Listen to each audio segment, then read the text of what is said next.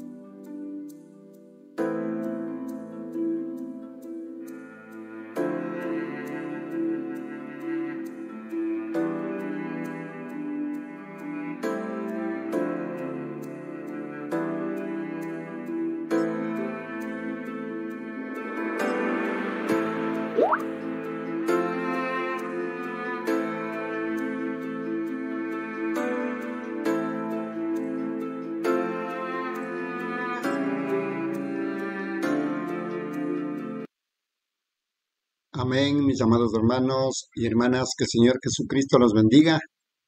Vamos a dar inicio a un nuevo compañerismo y vamos a pedirle la dirección de nuestro Padre Celestial para que la lectura que vamos a tener hoy día en este compañerismo sea de agrado para nuestro Padre Celestial y que vuestras almas sean despertadas. Gracias, amantísimo Padre Celestial, una vez más, Señor, nos acercamos ante ti humildemente, oh Padre, sabiendo de que tu palabra nos llevará a vida eterna, de regreso a eternidad, de donde fuimos venidos, Señor. Tú desde allí iniciaste tu programa, oh Padre, cuando tú eres el mismo ser Elohim, un ser omnipotente, omnisciente y omnipresente, oh Padre amado. Desde allí tú iniciaste este programa y te desplegaste un poco hacia abajo y formaste el mundo invisible. En ese mundo invisible formaste casas celestes como teofanías, espíritus, ángeles, oh Padre amado, con la finalidad de que ellos vengan en escena y que cumplan para qué fueron creados, oh Padre, así siendo los ángeles para adorar al ser que los creó, oh Padre. Luego te desplegaste un poco más abajo e hiciste este mundo visible, oh Padre, y desde allí han empezado estas siete fiestas que han sido tu, tu programa completo, Padre, Pascuas, panes sin levadura, primicia, Pentecostés, fiesta de las trompetas, expiación y tabernáculo. Padre amado, estamos en este último tiempo resignando a lo que está esta palabra perfecta, a que nuestros corazones, nuestras almas sean captadas, oh Padre. Daniel, tú dijiste, anda Daniel, pues estas palabras están cerradas y selladas hasta el tiempo del fin. Eso fue allá en el Antiguo Testamento, dentro de tu programa. Acá en el Nuevo Testamento, cuando tú dijiste en Apocalipsis 10.4, cuando, cuando Juan dijo, cuando los siete truenos hubieron emitido sus voces, yo iba a escribir, pero oí una voz del cielo que me decía, sella las cosas que los siete truenos han dicho, y no las escribas. Oh Padre amado, entonces en Apocalipsis 17 vino en escena el mensaje de la hora, sino que en los días de la voz del séptimo ángel, cuando él comience a tocar la trompeta, el misterio de Dios será consumado, como si lo anunció a sus siervos los profetas. Esa es la razón, es el motivo, Padre amado, que nos unimos en este punto de la tierra, Señor, para comernos del libro, de esa manera que Apocalipsis 10, 8 al 11, que es nuestro día, oh Padre, cumplir esa misión, oh Padre, de la misma manera. Por último, Apocalipsis 22, 10, tú dijiste, no selle las palabras de, las, de la profecía de este libro, oh glorioso Padre amado. Qué precioso es tu mensaje, captándole desde la revelación, oh Padre, Tú desde un inicio diste de revelación, tú diste el libre albedrío para poder entender las cosas que tú estabas entregando, Padre. Iniciamos, Señor, este compañerismo, esto es la lectura de estos gloriosos mensajes que hemos propuesto, oh Padre, pidiéndote que vengas tú en la cena, Señor, con tu Santo Espíritu. Te lo pedimos que esta lectura sea comprensible y te pedimos, Señor, que nos des sabiduría y entendimiento a esta última hora, Padre. Muchas gracias en el nombre del Señor Jesucristo. Amén, mis amados hermanos y hermanas, que el Señor Jesucristo nos bendiga. Vamos a continuar con la lectura de este glorioso mensaje titulado Desde ese entonces, servicio realizado en Clamash Hall, Oregon, Estados Unidos, día 16 de julio del año 1960. Continuamos con la lectura. Voy a lecturar en los párrafos 48 en adelante. Dice, entrevistemos en esta noche a algunas personas que se encontraron con Dios. Pensemos del padre Abraham. Él solo era un hombre común. Él salió con su padre de Babilonia y habitó en los valles de Sinar, en la ciudad de Ur, la tierra de los caldeos. Él no era nada especial. Él no era una persona santa. Él solo era un hombre común como usted y yo. Y un día, tal vez él era un granjero allá en los campos de granjas y, o algo. Y un día él se encontró con Dios. Él nunca tuvo más fe que cualquier otro hombre, pero cuando él se encontró con Dios a la edad de 75 años de edad, cambió todo su ser, porque él se encontró con Dios. Dios le dijo, él siendo de 75 años de edad, y él se había casado con su media hermana, Sarai, y en ese entonces ella era de 65 años de edad. Y Dios le dijo a Abraham que él iba a tener un bebé por medio de Sarai. 49 el párrafo. Ahora, eso hubiera sido, si hubiera sido alguien más que hubiera ido a él y dicho, algunos de sus asociados, y dicho, Abraham, Abraham, tú vas a tener un bebé por medio de Sarai y ella va a tener un niño y tú. Abraham se hubiera reído, doblado de la risa, y dicho, yo, un anciano como yo y mi esposa 30 años, o mejor dicho, 20 años pasado la menopausia, y yo he vivido con ella desde que ella tenía 17 años de edad. Ella es estéril y yo soy estéril. ¿Y cómo podremos tener un bebé? Yo de 75 y ella de 65. Él se hubiera reído en la cara de su amigo. Pero él se encontró con Dios y desde ese entonces él llamó a toda cosa contraria a eso como si no fuese. Amén. Él se había encontrado con Dios. Párrafo 50. Si la persona enferma alguna vez se puede encontrar con Dios, no importa cuán inválida permanezca, cuán enfermo usted permanezca, cuán ciego usted permanezca, si usted se encuentra con Dios, hay algo que se graba en usted y usted ya no ve ninguna de estas circunstancias. Usted mira a lo que Dios dijo. Si Dios alguna vez pudiera pudiera sacar por, por, los cuidados de la vida para entrar en su corazón e inculcar una fe allí, no hay nada en el mundo que lo sacuda de ello. Cuando un hombre se encuentra con Dios, desde ese entonces en adelante, él es una persona cambiada. Abraham era de 100 años y él todavía estaba llamando todo contrario a ello como que si no fuese. La evidencia se hizo más grande y más grande que se cumplió, perdón, que se acumuló contra él Sara era de 90 años y él era de 100. Él todavía le estaba dando alabanza a Dios.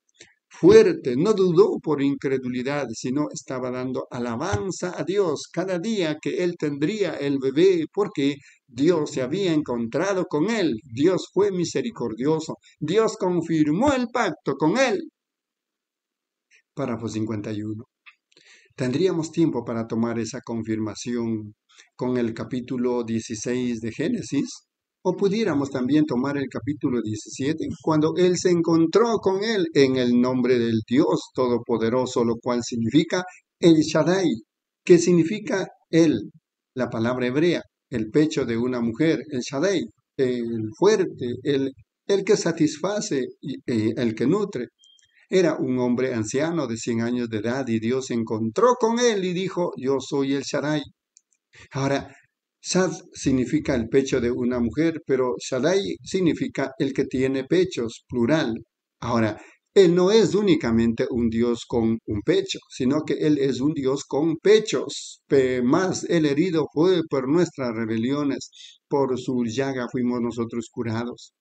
Si ustedes necesitan salvación, aférense de ese pecho de Dios, su palabra, su promesa. Ustedes vendrán de esos caminos de pecado e inmoralidad para ser una persona piadosa y santa. Si ustedes están enfermos, por su llaga fuimos nosotros curados. Solo echen mano de la otra promesa de Dios y mamen. Párrafo 52. ¿Qué tiene que hacer el bebé? El bebé, nosotros somos los bebés de Dios. Yo quiero que capten esto, hermanos.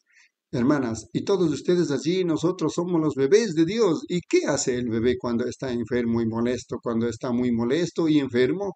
Ahora, la única cosa que ustedes tienen que hacer, la única cosa que lo pacificará es que la madre lo levante, lo ponga en su regazo y le dé de mamar. Ahora, ¿qué hace la madre? La madre produce la leche y el bebé, amamantando al bebé, mamá la fuerza de la madre. Entonces el bebé es fortalecido por medio de la fuerza de la madre. Y cuando echamos mano de la promesa de Dios en nuestro corazón, estamos mamando de la fuerza de Dios, el fuerte, estamos mamando. Y pensar que cuando un bebito está acostado en la madre, en el regazo de su madre, eso, sí, eso para su molestia.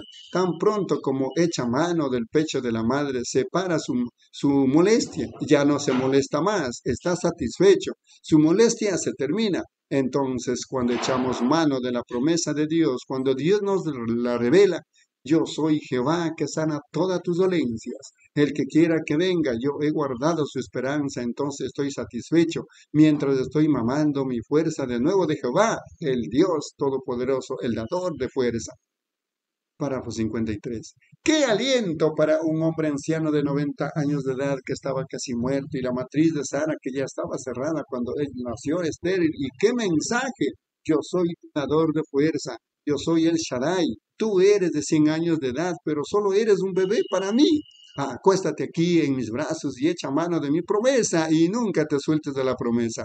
Entonces, ¿qué puedes hacer tú? Mientras la barba de anciano aparece, mientras el cabello encanece, tú todavía puedes mamar y estar satisfecho que yo cumpliré mi palabra. El doctor puede decir, usted se está poniendo peor y peor. Eso no le afecta a usted para nada. Usted todavía está mamando del, pecho de El Sadai. Dios, tú lo hablaste en mi corazón, tú me diste la promesa, todos los diablos del infierno no me la pueden quitar. Yo estoy satisfecho que sanaré, estoy mamando de El Shaddai. Amén. Déjeme decirle, hermano, eso le quita el hueso de pechuga y lo pone un espinazo allí, seguro que lo pone, cuando usted echa mano de Dios. Párrafo 54. Cuando Abraham, cuando él estaba confirmando el juramento, se fijan que él dijo, tráeme un alfolí, una cabra, un carnero, tráeme un carnero y también tráeme una becera de tres años y toma estos. Y él los partió por la mitad, dejándolos una enfrente de la otra. Él dijo, tráeme una tórtola y un palomino. Pero se fijaron ustedes, quisiera que tuviéramos tiempo de entrar en ello. Estoy observando ese reloj y, y yo estoy, yo no quiero salirme de mi tema, pero Abraham tomó Dijo, tráeme los dos, mejor dicho, una tórtola y un palomino. Párrafo 55. Ahora, la tórtola siempre representaba, o mejor dicho, era una expiación para la enfermedad. Ven, las tórtolas no eran partidas, los otros sí eran partidos, porque el, el pacto del Evangelio fue cambiado de la ley a la gracia, pero la sanidad divina siempre ha permanecido igual. Para la cura de la lepra, ellos tomaban un palomino o una tórtola y le cortaban su cabeza y derramaban la sangre de una sobre la otra y salía para la limpieza de la lepra clamando santo. Ahora, fíjense en esto. No partían la tórtola y el palomino. Ahora, fíjense en este símbolo. Oh, hermanos, espero que capten esto. En cuanto, eh, cuando Dios Abraham espantaba a todos los pájaros de eso, las aves del aire, hasta que el sol se empezaba a ocultar. Y cuando el sol se ocultó, significando que el tiempo no será más, entonces un sueño profundo cayó sobre Abraham, como cae sobre todo mortal que nace en la tierra. Entramos en el sueño de la muerte. Ustedes no mueren, solo se van y cambian sus lugares de morada. Párrafo 56. Ahora, un sueño profundo cayó sobre Abraham y él miró y Delante de él estaba un, horno humeante. Todo pecador que muere y todo hombre que nace en este mundo viene a través de un nacimiento sexual. Está sujeto a muerte. Todos pecamos y estamos destituidos de la gloria de Dios y todo hombre nace en este mundo como un pecador. A mí no me importa cuán santos eran sus padres. Ustedes vinieron a este mundo de la misma manera que vino un pecador o cualquier otro. Somos, ustedes son pecaminosos. Nosotros nacimos en pecado, formamos, formados en iniquidad. Venimos al mundo hablando mentiras. Dice la palabra, ustedes están, ustedes, están ustedes, están derrotados para empezar. Y entonces para todo mortal que muere, el infierno es su lugar de descanso. Ese es todo el descanso que recibe.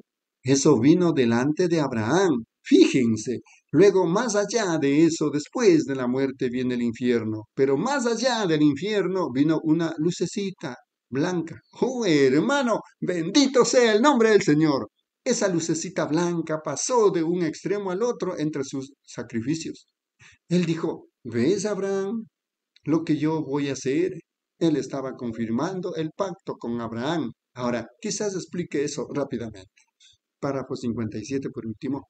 Miren, hoy en día nosotros americanos, ¿qué hacemos cuando confirmamos un pacto? Cuando vamos a hacer un trato de negocio, Cuando menos se piensa, yo extiendo mi mano y estrecho la mano del compañero y digo, trato hecho. De esa manera hacemos un pacto.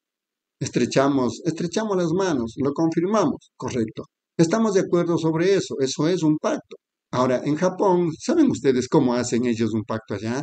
Ellos lo hablan y luego toman un platillo lleno de sal y se arrojan sal uno al otro. Eso es un pacto en Japón. Amén, mis amados hermanos y hermanas. Que el Señor Jesucristo los bendiga en esta tarde. Estamos lecturando este glorioso mensaje titulado Desde ese entonces, servicio realizado en Clamanfal, Oregón, Estados Unidos, día 16 de julio del año 1960. Continuamos con la lectura, hermana Reina, en los párrafos 58 al 64.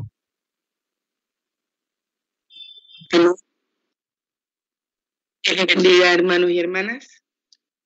Continuando con la lectura del mensaje, desde ese entonces. Párrafo 58. Pero en los días de Abraham en el oriente, la manera que ellos hacían un pacto era tomar una bestia, como una oveja o algo, y la mataban y la cortaban por la mitad, y cada uno pasaba entre esos dos pedazos de la bestia. Ahora, ¿ven lo que la lucecita blanca estaba haciendo? Y ellos escribían este pacto. Yo estoy de acuerdo en hacer esto y esto y esto y esto. Ahora, cuando ellos hacían este pacto entre ellos, ellos decían, si rompemos este pacto, si rompemos este pacto, que nuestros cuerpos sean como este cuerpo muerto de bestia sobre el cual juramos. Entonces ellos tomaban el pacto y lo rompían por la mitad de esa manera y uno tomaba un pedazo y el otro el otro. Nunca podían ser duplicados. Ustedes nunca pueden duplicar ese pedazo de papel. No importa lo que ustedes hagan, se tienen que juntar y coincidir. Los pedazos de letras que fueron rotas, ustedes nunca serían capaces de hacerlo. Uno trae uno y el otro el otro. Y cuando ese pacto es confirmado y traído, el juramento es confirmado. Entonces juntaban estos dos pedazos y encajaban una pieza con la otra pieza. 59. Ahora, ¿cuál era el pacto oriental que Dios le estaba dando a Abraham? Que por medio de la simiente de Abraham vendría el Señor Jesús, el bendito. Dios lo llevó al Calvario y él lo rasgó, separó su alma de su cuerpo y su cuerpo Dios lo resucitó al tercer día y lo llevó arriba y lo sentó a su diestra. Y en el día de Pentecostés, Él envió el Espíritu que estaba en Jesucristo, el pacto con la iglesia. Y cuando la iglesia venga junta en la resurrección, el mismo Espíritu que estaba en Jesucristo que fue separado de él tendrá que estar en la iglesia. Ustedes no pueden copiar nada como eso. Ustedes no pueden hacer nada diferente de eso. Tiene que ser el mismo Espíritu Santo que habitaba en Cristo. Y cuando venga el rapto, cuando venga ese cuerpo, su novia, que fue separada de él, hará el Espíritu Santo hará que esa novia encaje exactamente en el cuerpo de Jesucristo. Amén. Y pueden ver ustedes desde los días de Lutero a Wesley, a los pentecostales y ahora el tiempo del fin, cómo ese espíritu le está dando forma. Las mismas señales y maravillas que él hizo en la tierra están siendo hechas en la iglesia hoy en día. Es ese pacto que Dios hizo con Abraham. Y nosotros somos hijos de Abraham, estando muertos en Cristo. Tomamos la simiente de Abraham y somos herederos de acuerdo a la promesa. Desde ese entonces, la iglesia tuvo un pacto. Sí, fue diferente. 60. Ahora, cuando Moisés, un profeta fugitivo allá en la parte de atrás del desierto. Ese hombre nació para ser un profeta y él fue un gran hombre. Él estudió las hazañas militares. pero él trató de obrar eso con toda su intelectualidad. Bueno, él era tan inteligente que podía enseñar a esos maestros egipcios. Él era un hombre inteligente. Ahora, allá en la parte de atrás del desierto, ¿qué dijo él? Yo fallé, así que mi pueblo todavía está en esclavitud. Quizás más vale que estudie un poquito de mis matemáticas o de mi estrategia o las estrategias del ejército o alguna otra cosa. Voy a ir allá y tomaré dos años más de escuela y quizás yo sea capaz de liberar a mi pueblo. 61. Haciendo él eso para adquirir inteligencia. Es como enviar a un hombre para que aprenda a ser un predicador. Dios llama a los hombres que no saben la diferencia entre frijoles y café. ¿Qué importa eso? Mientras Él conozca a Cristo, esa es la cosa principal. Si ustedes alguna vez lo han conocido a Él, yo preferiría tener a alguien con uno de mis hijos aquí en un, en un campo de Artemisa, en alguna parte, junto a un tronco viejo que ni siquiera sabe su abecedario o sabe cuál es la mano derecha o, o la izquierda. Si él conoce a Jesucristo, me gustaría tenerlo al lado de mi hijo antes de tener a cualquier profesor que sabe mucha teología y que sabe tanto tocante a Dios como un conejo sabe tocante a zapatos para la nieve.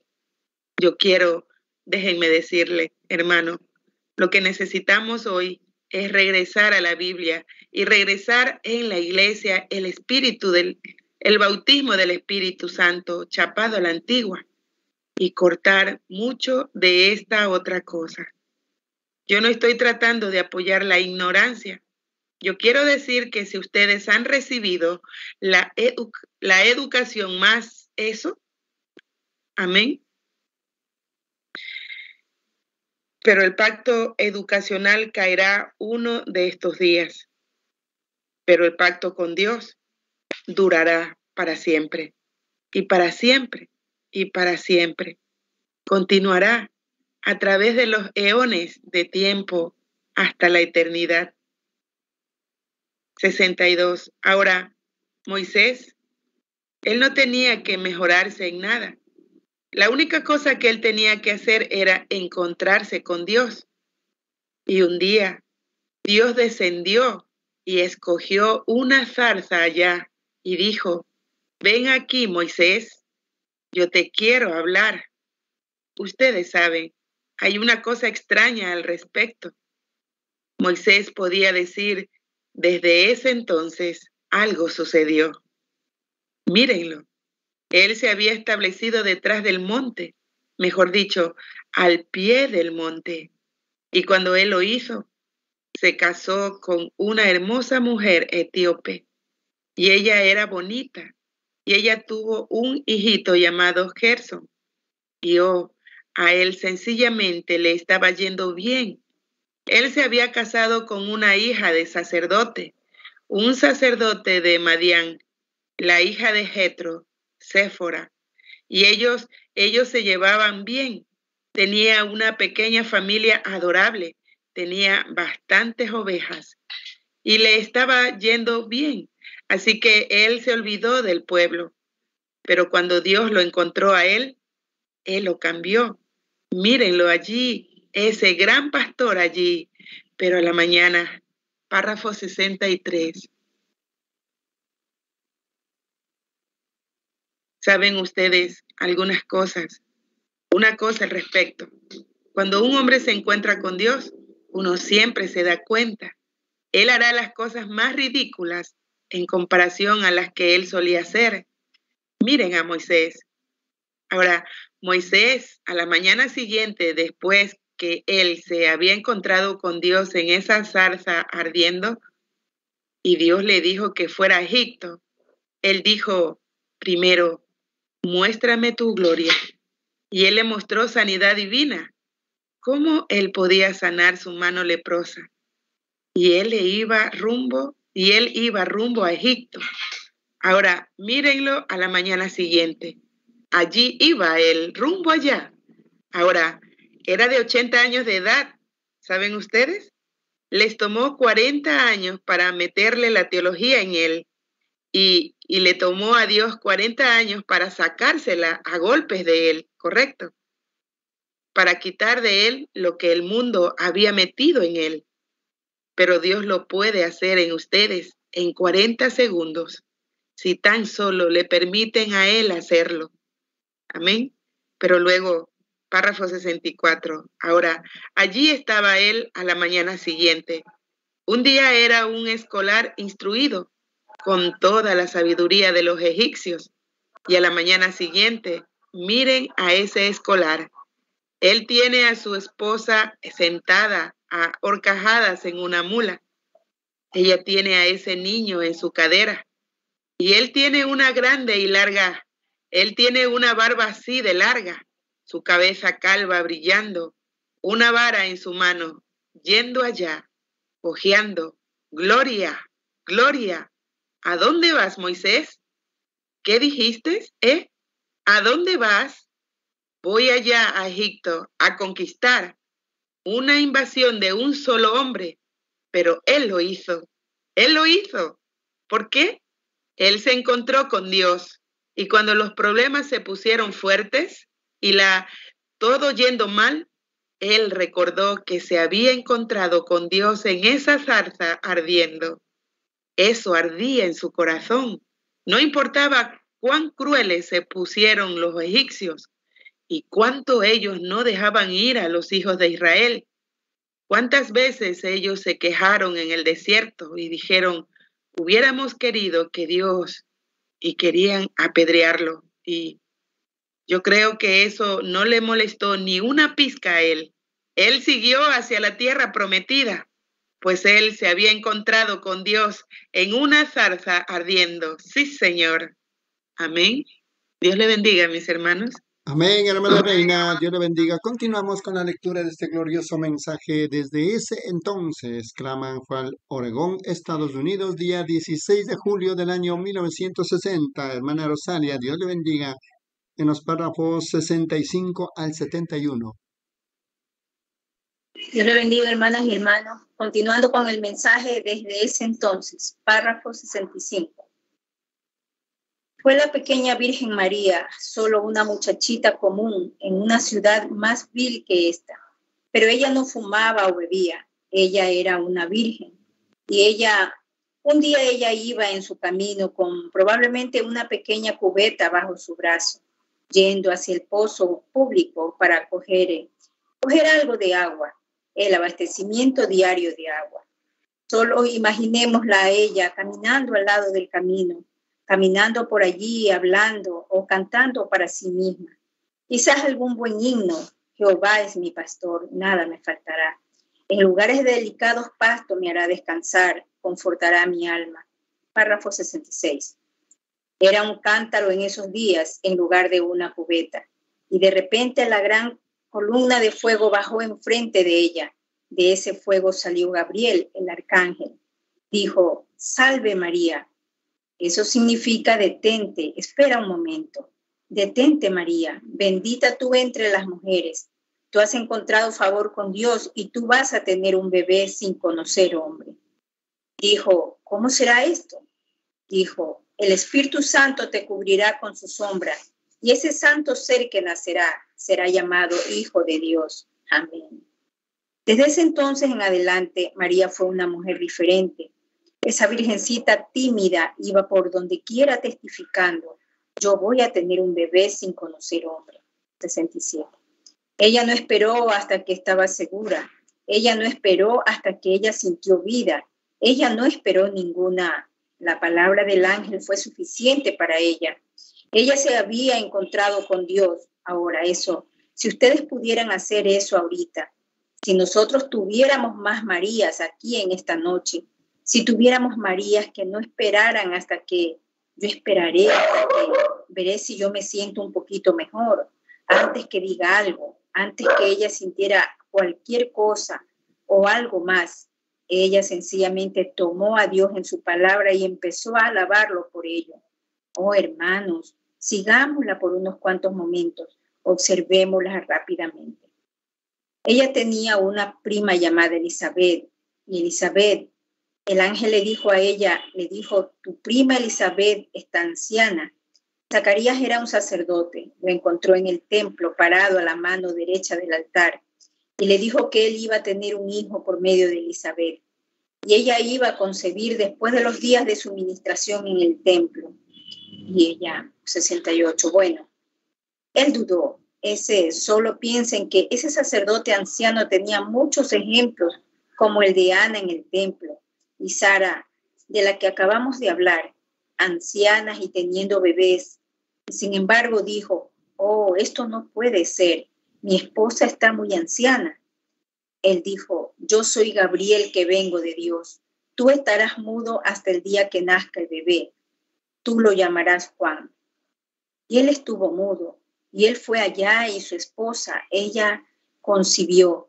Y ella tenía seis meses sin ninguna vida en el bebé. Y ella estaba mucho más preocupada. Así que María había oído tocante a esto. Así que veo sus mejillitas rosadas mientras caminaba tan feliz como podía estar no sentía nada todavía. Jesús nunca dijo, ¿lo sentiste? Él dijo, ¿lo creíste? Ustedes deben creerlo en el momento que ustedes creen. 69. Cuán preciosa esa gracia que se manifestó, la hora en la que primero sentí. Eso no suena correcto, suena la hora en la que primero creí, cuando creí en Dios, eso fue lo que la hizo preciosa. Oh, Dios está haciendo su aparición noche tras noche en las reuniones y mostrando las grandes señales y maravillas. Oh, eso debería conmover nuestros corazones. Seguro que sí. Cuán preciosa esa fe que se manifestó gracias a la hora en la que primero creí. Allí iba María, sus mejillitas rosadas, sus ojitos centellando, brillantes, se arregló toda y por los montes de Judea se fue a donde vivía su prima y yo puedo ver a Sara. Párrafo 70. Yo veo mujeres en la calle estando cenando hoy yo, yo, ellos me hubieran echado fuera del restaurante si yo no hubiera vuelto mi espalda. Una mujer entró allí, ya para ser madre en cualquier momento, con unos pantaloncitos cortos puestos, una mujer muy robusta, oh, y fumando un cigarrillo. Y el doctor dice que es una de las peores cosas que mata. Escucha, hermano, eso es un sabotaje, seguro que lo es. Y los doctores dando advertencias que produce cáncer en la garganta y en los pulmones, y fumando eso, pasándolo directamente a ese bebé. Pero eso, pero las mujeres eran diferentes en esos días. Ella fue y se escondió, se apartó de la vista de los hombres y ella se metió y se escondió y estuvo allí por, por seis meses. El pequeño Juan no se había movido, él estaba formado en el vientre de su madre. Nosotros sabemos que eso no es normal. Párrafo 71 por último. Así que quizás levantó la ventana, las cortinas, miró afuera de esta manera y ella vio que venía una mujer hermosa, como de unos 18 años de edad, ella miró otra vez. Oh, ella dijo, es María. Oh, qué cosa. Y ella cogió su pequeño chal y se lo puso. Y allí salió corriendo rápidamente. Y su esposo estaba mudo en ese tiempo. Él no podía hablar. Salió corriendo y tomó él, tomó el pequeño chal y se arropó con él y salió corriendo. Ella había estado sentada allá al fondo tejiendo botitas y cosas. Ustedes saben, preparándose ustedes saben, las cobijitas y cositas de tejido. Y así que ella salió corriendo y ella dijo, oh María. Amén, hermanos, Dios les bendiga. Amén, amén, hermana Rosalia, Dios le bendiga. Recordando, estamos lecturando este glorioso mensaje titulado Desde ese entonces, predicado en Clamanfal, Oregón, Estados Unidos, día 16 de julio del año 1960. Continuamos con la lectura. Hermana Margarita, Dios le bendiga en los párrafos 72 al 78.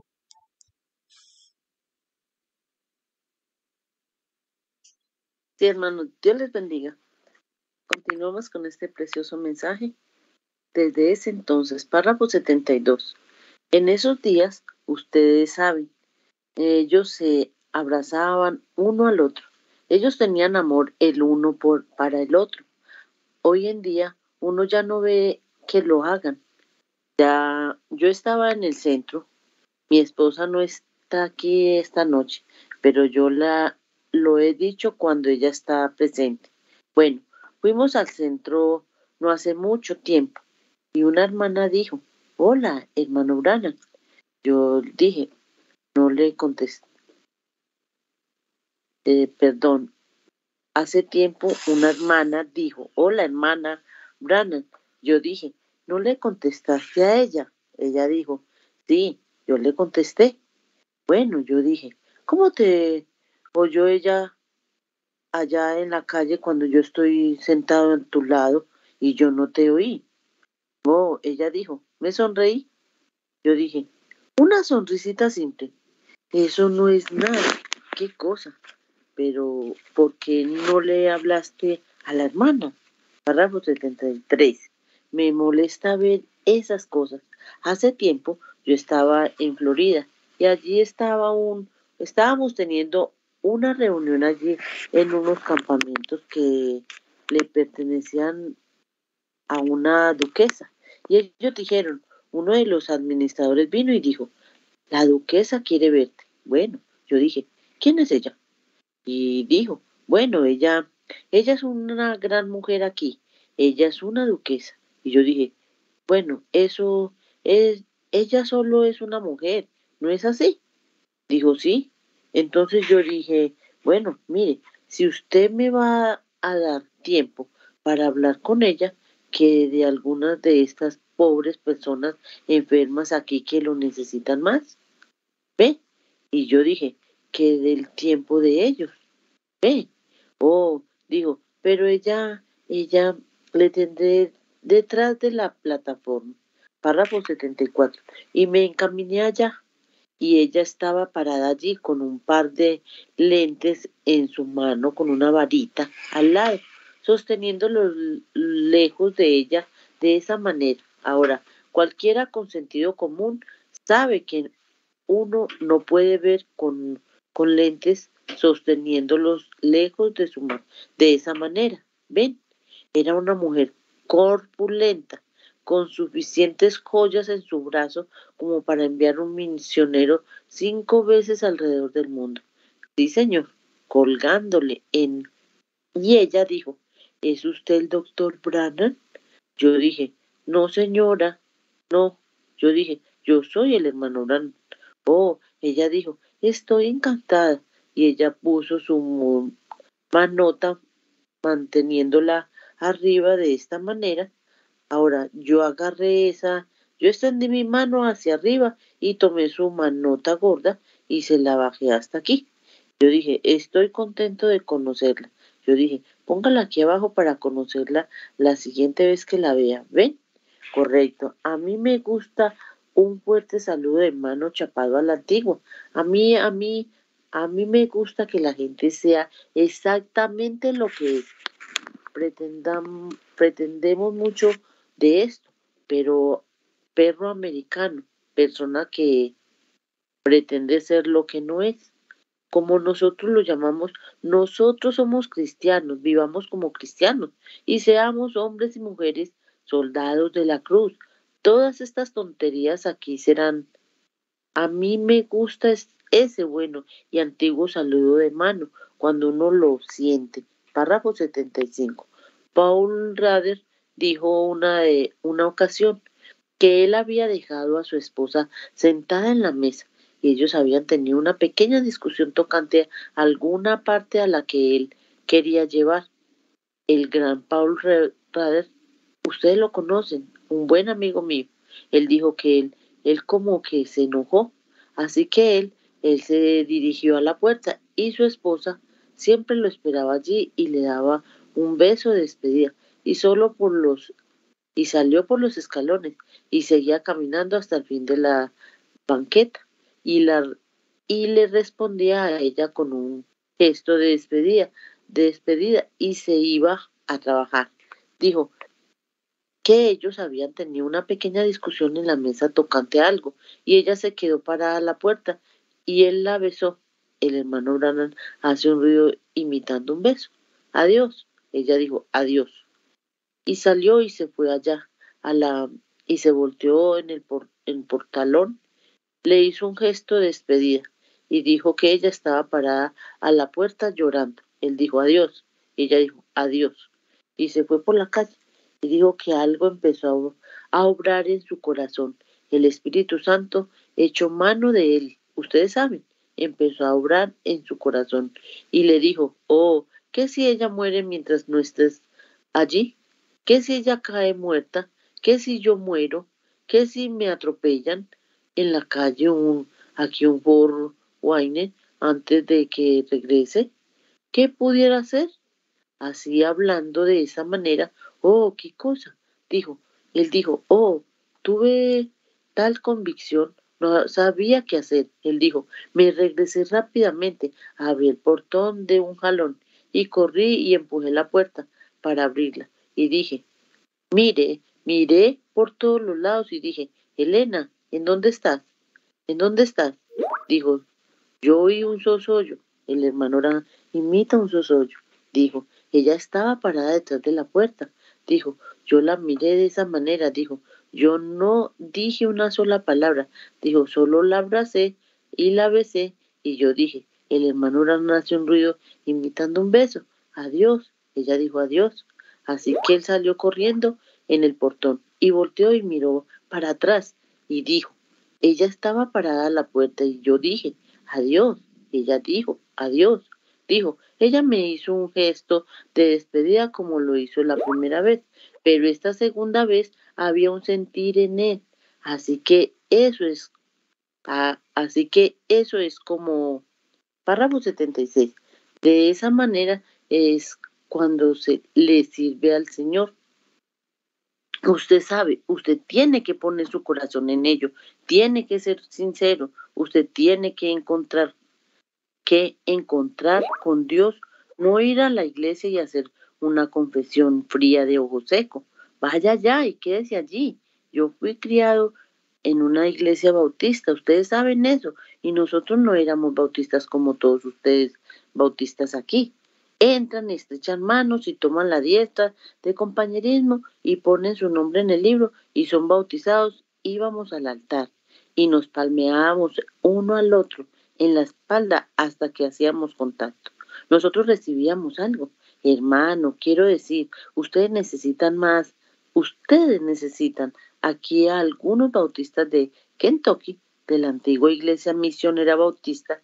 Déjenme decirles, ellos, la única diferencia que yo veo entre ellos y la gente pentecostal es que ellos no aceptan hablar en lenguas. Eso es todo lo que sé. Ellos, nosotros hacíamos contacto, nos quedábamos allí en el altar y las madres ancianas alrededor de nosotros llorando y llorando y palmeándonos en la espalda hasta que algo sucedía. Nos quedábamos allí hasta que moríamos y nacíamos de nuevo y llegábamos a ser una nueva criatura en Cristo Jesús. Sí, Señor. Qué lástima que tengamos, tenemos que encontrarnos con Dios. Cuando el hombre se encuentra con Dios, es diferente. Él es una, él es una persona diferente desde ese entonces en adelante. Párrafo 77. Hubo un leproso en una ocasión lleno de lepra, y cuando él se encontró con Dios, desde ese entonces en adelante, él no tuvo lepra. Una mujer inmoral que fue al pozo en una ocasión para coger agua, y ella vio a un, un judío sentado al otro lado, y ella bajó el cántaro, era tan inmoral que no podía venir con las mujeres decentes. Ella las segregaban en ese entonces. Ellos no le hacen, no lo hacen ahora. Así que ellos solo, eso es la sociedad. Así que ellos pusieron el pozo, bajó el cántaro y empezó a subirlo de esa manera. Y cuando lo hizo, ella oyó a alguien decir, dame de beber, mujer. O mejor dicho, mujer, dame de beber. De esa manera él lo dijo, porque el verbo siempre está antes del adverbio en esa región. Pero él dijo, dame de beber. Y así que ella dijo, no es costumbre que ustedes los judíos le pidan tal cosa a los samaritanos. No tenemos tratos el uno con el otro. Él dijo, pero si tú supieras con quién estás hablando, tú me, me pedirías a mí de beber. Yo te daría agua de que tú no tendrías que venir aquí a sacarla. Bueno, ella dijo, el pozo es hondo. ¿Y cómo tú, cómo la vas a sacar de todas maneras? Él dijo, el agua que yo doy es vida, vida eterna, borboteando en el alma. Bueno, ella dijo, nuestros, nuestros padres adoraron en este monte, y tú dices que en Jerusalén. Párrafo 78 para terminar. Y él siguió con la, con la conversación hasta que él captó su espíritu. Cuando él captó su espíritu, él dijo, bueno, ve, llama a tu marido y ven acá. Ella, recuerden, ella era una mujer inmoral. Así que dijo, ve, llama a tu marido y ven acá. Bueno, ella dijo, no tengo marido. Él dijo, tú has dicho la verdad, porque tú has tenido cinco, y con el que tú estás viviendo ahora no es tu marido. En esto, bien has dicho. Observen a esa mujer rápidamente. Ella se había encontrado con alguien, el mismo con el que ustedes se encuentran todas las noches. Los cambiará a ustedes, como, lo como la cambió a ella. ¿Cómo la cambió a ella? Ella dijo, Señor, me parece que tú eres un profeta. Qué diferente fue en comparación a ese sacerdote que dijo que él era Belcebú. Ella estaba mejor instruida que la multitud de los predicadores y sin embargo era una prostituta. Dijo, Señor, me parece que tú eres profeta. Ahora sabemos, nosotros los samaritanos estamos esperando que venga un Mesías. Él será un Dios profeta, él será el Mesías, que pero él nos declarará estas cosas. Él hará estas mismas clases de obras cuando él venga. Esa es esa la señal del Mesías. Él lo hará en este momento, ven. Dijo, sabemos, yo sé que tú eres profeta, me pareces que tú lo eres. Nosotros sabemos que cuando el Mesías venga, Él nos declarará estas cosas. Pero ¿quién eres tú? Jesús dijo, yo soy el que habla contigo. Aleluya. Párrafo 79. Dios les bendiga, hermanos. Amén, hermana Margarita. Dios le bendiga la lectura. Continuamos desde ese entonces, predicado en Claman Fall, Oregón, Estados Unidos, día 16 de julio del año 1960. Voy a continuar en los párrafos 79. Dice, ahora yo quiero que el incrédulo me diga de una sola vez que Jesús dijo. Muchos incrédulos dicen, Jesús nunca reclamó ser el Hijo de Dios. Él lo reclamó allí, él dijo, yo soy el que habla contigo. Y rápidamente ella dejó ese cántaro y desde ese entonces, desde ese entonces ella supo que el Mesías estaba en la tierra. Oh hermanos, si únicamente nosotros pudiéramos hacer la misma cosa en esta noche, si pudiéramos comprender que Él no está muerto, Él está vivo por los siglos de los siglos, Él vive para hacer intercesiones, porque yo vivo, vosotros también viviréis. Aquí está en nosotros, su espíritu está entre nosotros. Desde ese entonces los hombres de la ciudad creyeron en Dios debido al testimonio de la mujer. Jesús nunca lo hizo otra vez allí, él solo fue allá y lo hizo en esa sola ocasión. Y toda Samaria creyó en él. Él nunca tuvo un solo servicio de sanidad. Él estaba reservando eso para Felipe. Pero desde ese entonces en adelante, esa mujer fue cambiada, esa ciudad fue cambiada. Para 80. En una ocasión, un pescador con un delantal grasoso amarrado en él, su hermano Andrés, lo trajo ante Jesús. Y tan pronto como él vino ante Jesús, Jesús dijo, Tu nombre es Simón, tú eres el hijo de Jonás. Y desde ese entonces, desde ese entonces fue un hombre diferente. Felipe fue y encontró a Natanael y lo trajo ante él, y él dijo, He aquí un israelita en quien no hay engaño. Él dijo, Rabí, ¿cuándo me conociste? Él dijo, antes que Felipe te llamara, cuando estabas debajo de la higuera, te vi. Y desde ese entonces, desde ese entonces, él fue un hombre cambiado. Cuando cualquiera que alguna vez entra en contacto con Dios es cambiado. Párrafo 81. Hubo un judito de nariz aguileña. La iglesia con las llaves habían hecho un grande desatino. Ellos habían ido por allí y dicho, miren, juntémonos todos. Veremos qué bien hicieron las llaves. Habían ido por allí y dijo, juntémonos todos y seleccionemos un hombre, uno que ha entrado y salido entre nosotros desde el principio para que tome lugar de Judas, porque está escrito en la escritura, sea hecha desierta su habitación y tome otro su obispado. Su obispado, sí. Y dice que echaron suertes y cayó sobre Matías. Y él nunca hizo una sola cosa. Él, ese fue el escogimiento del hombre. Y Dios fue y tomó al hombrecito más malo que había en la ciudad para que tomara su lugar, un judito. Él dijo, yo le mostraré lo que yo haré que él haga por mí. Y él observó a Esteban cuando él murió. Eso como que lo conmovió. Luego, cuando menos pensó, él iba en su camino allá. Él traía una carta en su bolsillo. Decía, yo agarraré a todos esos santos rodadores. Yo traigo aquí la carta del sumo sacerdote. Iré allá a Damasco y lo echaré a la cárcel. Haré todo lo que yo pueda. Pararé esos cuchillos y gritos, perdón, esos chillidos y gritos y todo ese alboroto. El hablar en lenguas y cosas. Yo recibiré órdenes y yo lo haré tenía una nariz curva de esa manera. Dios dijo, ahora yo lo encontraré en el camino y lo cambiaré. Como a mediodía, él iba por el centro del camino, y cuando menos pensó, esa columna de fuego le apareció delante de él y dijo, Saulo, Saulo, ¿por qué me persigues? Él cayó al suelo, él dijo, Señor, ¿quién es ese que yo estoy persiguiendo? ¿Cómo te llamas? Él dijo, yo soy Jesús, y es duro dar cosas contra el aguijón párrafo 82. Y desde ese entonces él se deshizo de su carta y llegó a ser uno de ellos. Desde ese entonces, sí, lo cambió. Hananías puso mano sobre él por una visión que él vio y, él recibió su vista, lo llevó allá al río de Damasco y lo bautizó. Él llegó a ser el, un santo para la iglesia gentil. Dios Ahora miren esto, ¿cómo? Lo que él dijo, cuando Pablo se convirtió, tal vez la iglesia, la iglesia dijo, oh, miren lo que tenemos ahora. Tenemos a este gran Pablo. Sabemos que ese hombre se sentó a los pies de Gamaliel. Él es uno de los más grandes maestros de la nación. Y él es un fariseo. Él es un, oh, él es un gran hombre. Lo pondremos allá en Jerusalén y lo haremos la la cabeza de la iglesia ya, y tomaremos a Pedro. Por supuesto, él es el que tiene las llaves. Él es uno sin letras. Él no puede. La Biblia dijo que él era uno sin letras y del vulgo.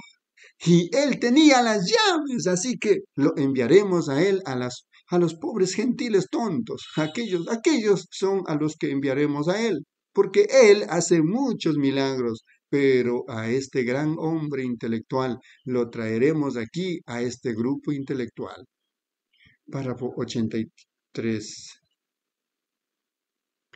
El Espíritu Santo envió a Pablo a los tontos y lo hizo que olvidara todo lo que él sabía y tomó a Pedro, el tonto, y lo envió a los educados. ¿Cuál era el problema? Ellos se encontraron con Dios y desde ese entonces en adelante la intelectualidad no contaba. Correcto, desde ese entonces en adelante el récord fue cambiado, como Dios sencillamente hace cosas contrarias al pensamiento del hombre.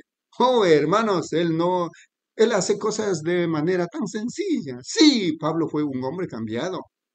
Hubo un hombre ciego, sobre el cual predicamos la otra noche, sentado a la puerta, mendigando limosnas, y él se encontró con Dios.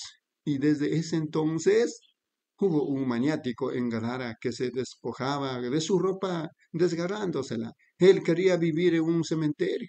Ese es un buen lugar para demonios. Así que él estaba allí y lo habían encadenado. Él era muy poderoso. Miren a un hombre. Párrafo 84.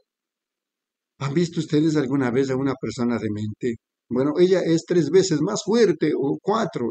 Y, si, una, y si una alma rendida al diablo, él le da cuatro veces más su fuerza.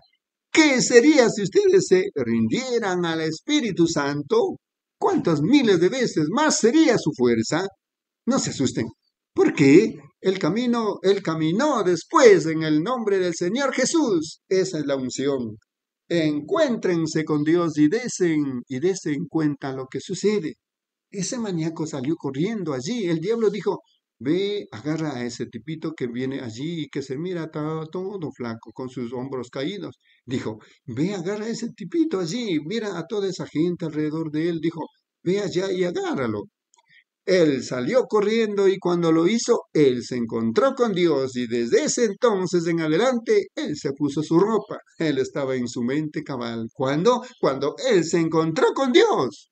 Amigos, hay ocasiones cuando ustedes se encuentran con Dios. Eso cambia a todo hombre.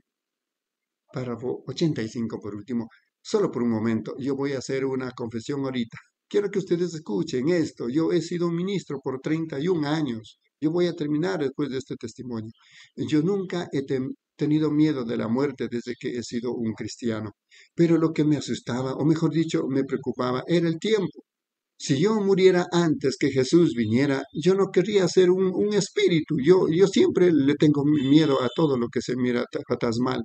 Fantasmal. Yo, yo, yo le tengo miedo a eso. Así que yo, yo, yo pensé que cuando yo estaba, yo, yo sé que este cuerpo, yo pensé que me iría a estar con el Señor, pero que quizás yo vería a uno de mis hermanos y que pasaría por allí como una nubecita blanca, un espíritu, el alma de esa persona. Y yo diría, oh, allí, allí va mi hermano. Oh, si tan solo pudiera estrechar su mano. Él no tiene manos. Se pudieron en la sepultura. Si yo pudiera decir, hola, pero él no tiene. Yo no puedo. Yo no tengo lengua, mi lengua se pudrió allá en la sepultura. Si yo lo pudiera abrazar, pero no tengo, yo soy un espíritu. Oh, eso me asustaba mucho. A mí, a mí no, me, no me gustaba eso. Yo, yo, soy una persona ignorante y apenas puedo leer. Tengo una educación elemental de séptimo grado. Y así que entonces yo pensé, bueno, qué cosa si tan solo pudiera, espero vivir hasta que venga el Señor. Amén. Gloria a Dios. Continuamos con la lectura de este glorioso mensaje titulado Desde ese entonces predicado en Clamanfal, Oregon, Estados Unidos, día 16 de julio del año 1960. Continuamos la lectura, hermana Reina, en los párrafos 86 al 92. Dios le bendiga, hermanos y hermanas. Mensaje desde ese entonces. Párrafo 86. Ahora, yo sabía que cuando Él regresara, mi cuerpo sería resucitado. Yo sabía que tendría un cuerpo. Toda la vejez habrá cesado. Uno nunca será anciano allá. No, Señor. Todo símbolo del pecado será quitado. Y la vejez es un símbolo del pecado. Así que todo lo que representa pecado será quitado, porque por la maldición, no que usted fue el que pecó, sino que usted es uno de la raza de Adán y usted, usted está volviendo al polvo. Y yo pensé, si tan solo pudiera vivir para ver la venida de Jesús. 87.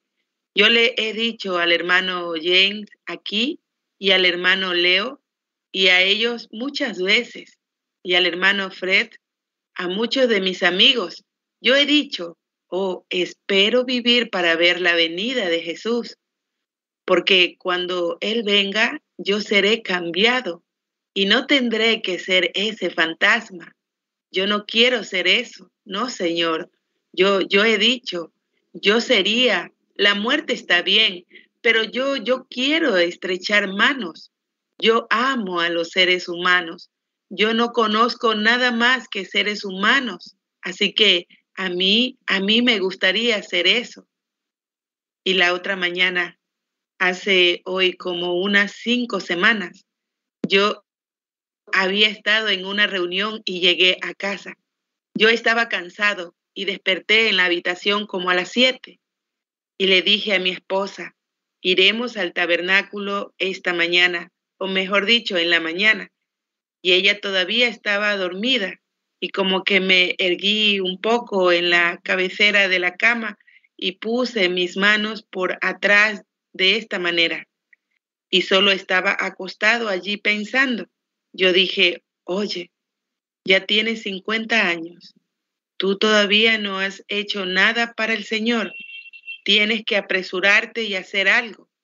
Y yo dije, yo tengo estaré, estaré anciano después de un tiempo. Yo dije, yo, yo tengo que apresurarme y hacer algo. Yo no he hecho nada para el Señor. Y yo dije, pero ¿sabes qué? De seguro que de seguro me disgustaría. Me disgusta la idea de tener que morir antes que Él venga. Yo dije, si Él tan solo viene, yo dije, tengo, tengo miedo de pensar que si me tengo que ir, si Él tarda todavía unos cuantos años y quizás yo no viva para verlo, que tenga que morir y llegar a ser un espíritu. Oh, a mí no me gustaba eso en lo absoluto. 88. Y mientras estaba acostado allí pensando eso, yo oí algo tan claro como ustedes escuchan mi voz. Como les, como les estaba diciendo a ustedes anoche, dijo, sigue esforzándote a seguir adelante. Bueno, yo, yo primero, yo viene de tal manera como estas visiones aquí, uno lo dice y uno no sabe el que lo dijo. Uno está platicando, hablando, y uno no sabe qué está hablando. Cuando yo veo una visión delante de alguien, yo no sé lo que dije. De la única manera que lo sé es que voy a la cinta y lo encuentro. ¿Ven? Yo no sé lo que dije porque uno está en alguna otra parte, en otro lugar, quizás 40, 50 años en el pasado de la vida de alguien o mucho, muy en el futuro, en la vida de alguien, ¿ven? Uno no sabe y uno sencillamente no sabe que uno lo dice. Y yo, yo dije, me estoy a seguir adelante. Dijo, sigue esforzándote a seguir adelante. Sigue esforzándote a seguir adelante. Dijo, la gran recompensa está al fin del camino. Amén. 89. Ahora, yo le pedí permiso al, al presidente y a los demás para decir esto. Yo creo que fue una visión, pero si fue, yo nunca he visto nada como eso. Yo he visto visiones desde que tenía como unos tres años de edad, quizás más joven que eso. Y yo nunca he visto nada como eso. Nunca tuve una experiencia tal que me sucediera. Yo estoy leyendo un libro que el pastor aquí me dio de alguien más que tuvo una experiencia similar. Yo lo leí, pues decía que el hermano, ¿cuál fue? Wigglesworth, Prince, el hermano Prince, tuvo una experiencia algo similar a esa. Yo quería conseguir su libro y ver lo que fue. Yo, yo quería darme cuenta. Yo no quiero decir traslación, porque pareciera que estuviera tratando de copiar a San Pablo. No, yo quiero, yo quiero ser exactamente lo que yo soy. ¿Ven? Solo yo no puedo ser San Pablo, pero sirvo al mismo Dios que él sirvió. 90. Y así que yo dije, solo seguía diciendo, esfuérzate a seguir adelante. Y yo, yo, yo contesté y dije, bueno, me estoy esforzando a seguir adelante. Él dijo, la gran recompensa está al fin del camino. Yo dije, yo entiendo. Yo dije, ¿quién? Esa ha de haber sido mi esposa. Yo dije, ¿qué dijiste, cariño? La sacudí. Yo dije, Meda, ¿qué dijiste? Ella dijo, ¿eh? Ella estaba dormida. Y yo dije, bueno, ese no fue ella. Yo dije, quizás ese fue el Espíritu Santo. Yo dije, bondadoso Padre Celestial, ¿le estabas tú hablando a tu siervo? ¿Qué quieres que yo sepa? Nadie habló. Esperé un ratito. Lo oí otra vez diciendo, parecía que podía oír a alguien que cantaba esa alabanza. Señor, déjame mirar más allá de la cortina del tiempo. ¿La han oído ustedes? ¿La saben? Señor, déjame mirar más allá de la cortina de sombra de pesares y temores. Déjame oír el dulce repique de las campanas de amparo. Haría brillar mi sendero y desvanecería todo temor. Señor, déjame mirar más allá de la cortina del tiempo. Parecía que podía oír a alguien que cantaba eso. Yo pensé, me pregunto, ¿qué es eso?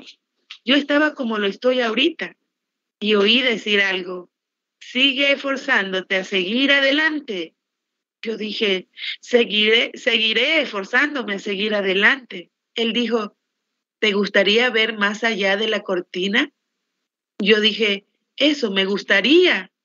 Y en ese momento sentí que algo me sucedió y pensé, ¿qué está sucediendo aquí? Y miré hacia atrás y me podía ver a mí mismo acostado en la cama. 91. Ahora, si esto, si esto es un tropiezo para ustedes, entonces que Dios me perdone por contarlo. ¿Ven?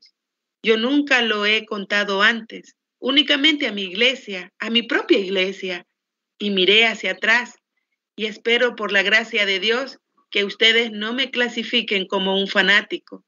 Yo, yo, si lo soy, yo no lo sé. Yo, yo no lo quiero ser, no.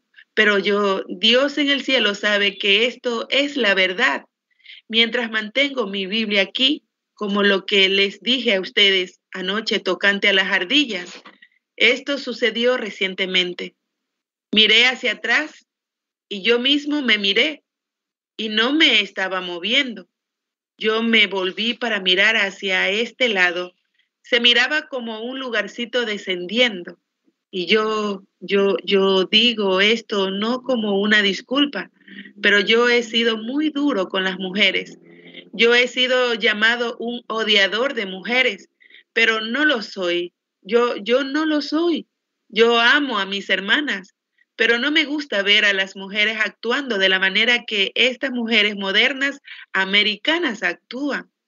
Como yo fui a San, cuando yo fui a San Angelo, a las catacumbas en Roma, en Italia, había un letrero allí al lado de las catacumbas que decía, por favor, mujeres americanas, pónganse su ropa antes de entrar a este lugar para honrar a los muertos.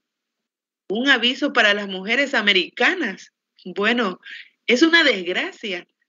Ellos me preguntaron, ¿no tiene ustedes algunas mujeres decentes allá?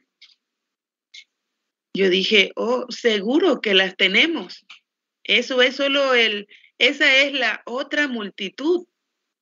¿Ve? Pero ellos las conocían solo como americanas. Eso es lo que era 92. Y así que esto yo, yo no tendré tiempo en esta reunión para decirles. En 1933, esta es una nación de mujer. Es el número 13.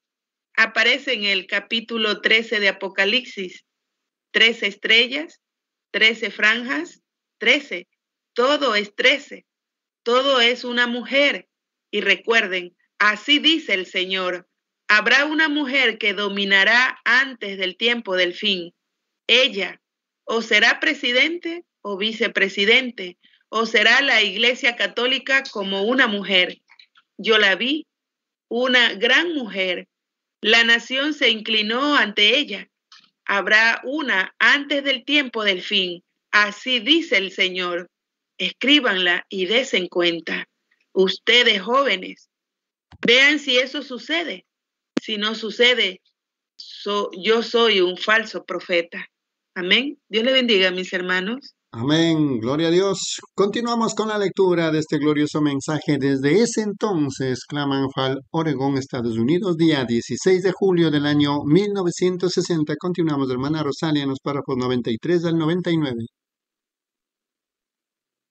Amén, hermanos. Continuando con el mensaje desde ese entonces, párrafo 93. Ahora, solo recuerden, eso es el fin. Esta América es una nación de mujeres es un lugar en donde ella es diosa sin ninguna restricción. Y el hombre no le dice nada a ella. Ella es mandona. Ella controla todo, negocios y todo. Y aún se metió a la iglesia, a la plataforma, al púlpito y controla eso ahora. Así que ahí lo tienen, ¿ven? Es, y eso es absolutamente tan en contra de la escritura como, como Caín y Abel. O mejor dicho, como Abel sería el, como Caín, ciertamente. En todas estas cosas, ella es una dominante y ella es, ella es una diosa. Eso es verdad. En América, no ustedes, hermanas, pero yo siempre fui un poquito duro con ellas de esa manera. Y quizás yo, yo opiné un poquito muy duro, quizás algunas veces, pero ¿cómo no podría yo? Si ustedes, si ustedes son espirituales, lo captarán en estos momentos, ¿ven? ¿Cuántos de ustedes piensan que entienden lo que quiero decir? Muy bien, párrafo 94. Miren a Elías. ¿Qué clamó él? Él no lo podía evitar. Él clamó en contra de esa Jezabel. ¿No lo hizo? ¿Cómo? Allí venía Juan el Bautista con el mismo espíritu de él. ¿Cómo pudiera él evitar clamar tocante a que no te es lícito tener la mujer de tu hermano? Le costó su cabeza, ¿ven ustedes? Dios se lleva a su hombre, pero nunca su espíritu. ¿Ven? Continúa moviéndose hacia adelante. El precursor de la venida del Señor Jesús, como él lo habló allá en el río en 1933, cuando yo estaba bautizando allá, ustedes vieron lo que sucedió, ¿ven? Es exactamente lo que él dijo que sucedería. Así que uno no lo puede evitar. Y cuando miré, me pareció que venían corriendo hacia mí un millón de jovencitas como de 20 años de edad.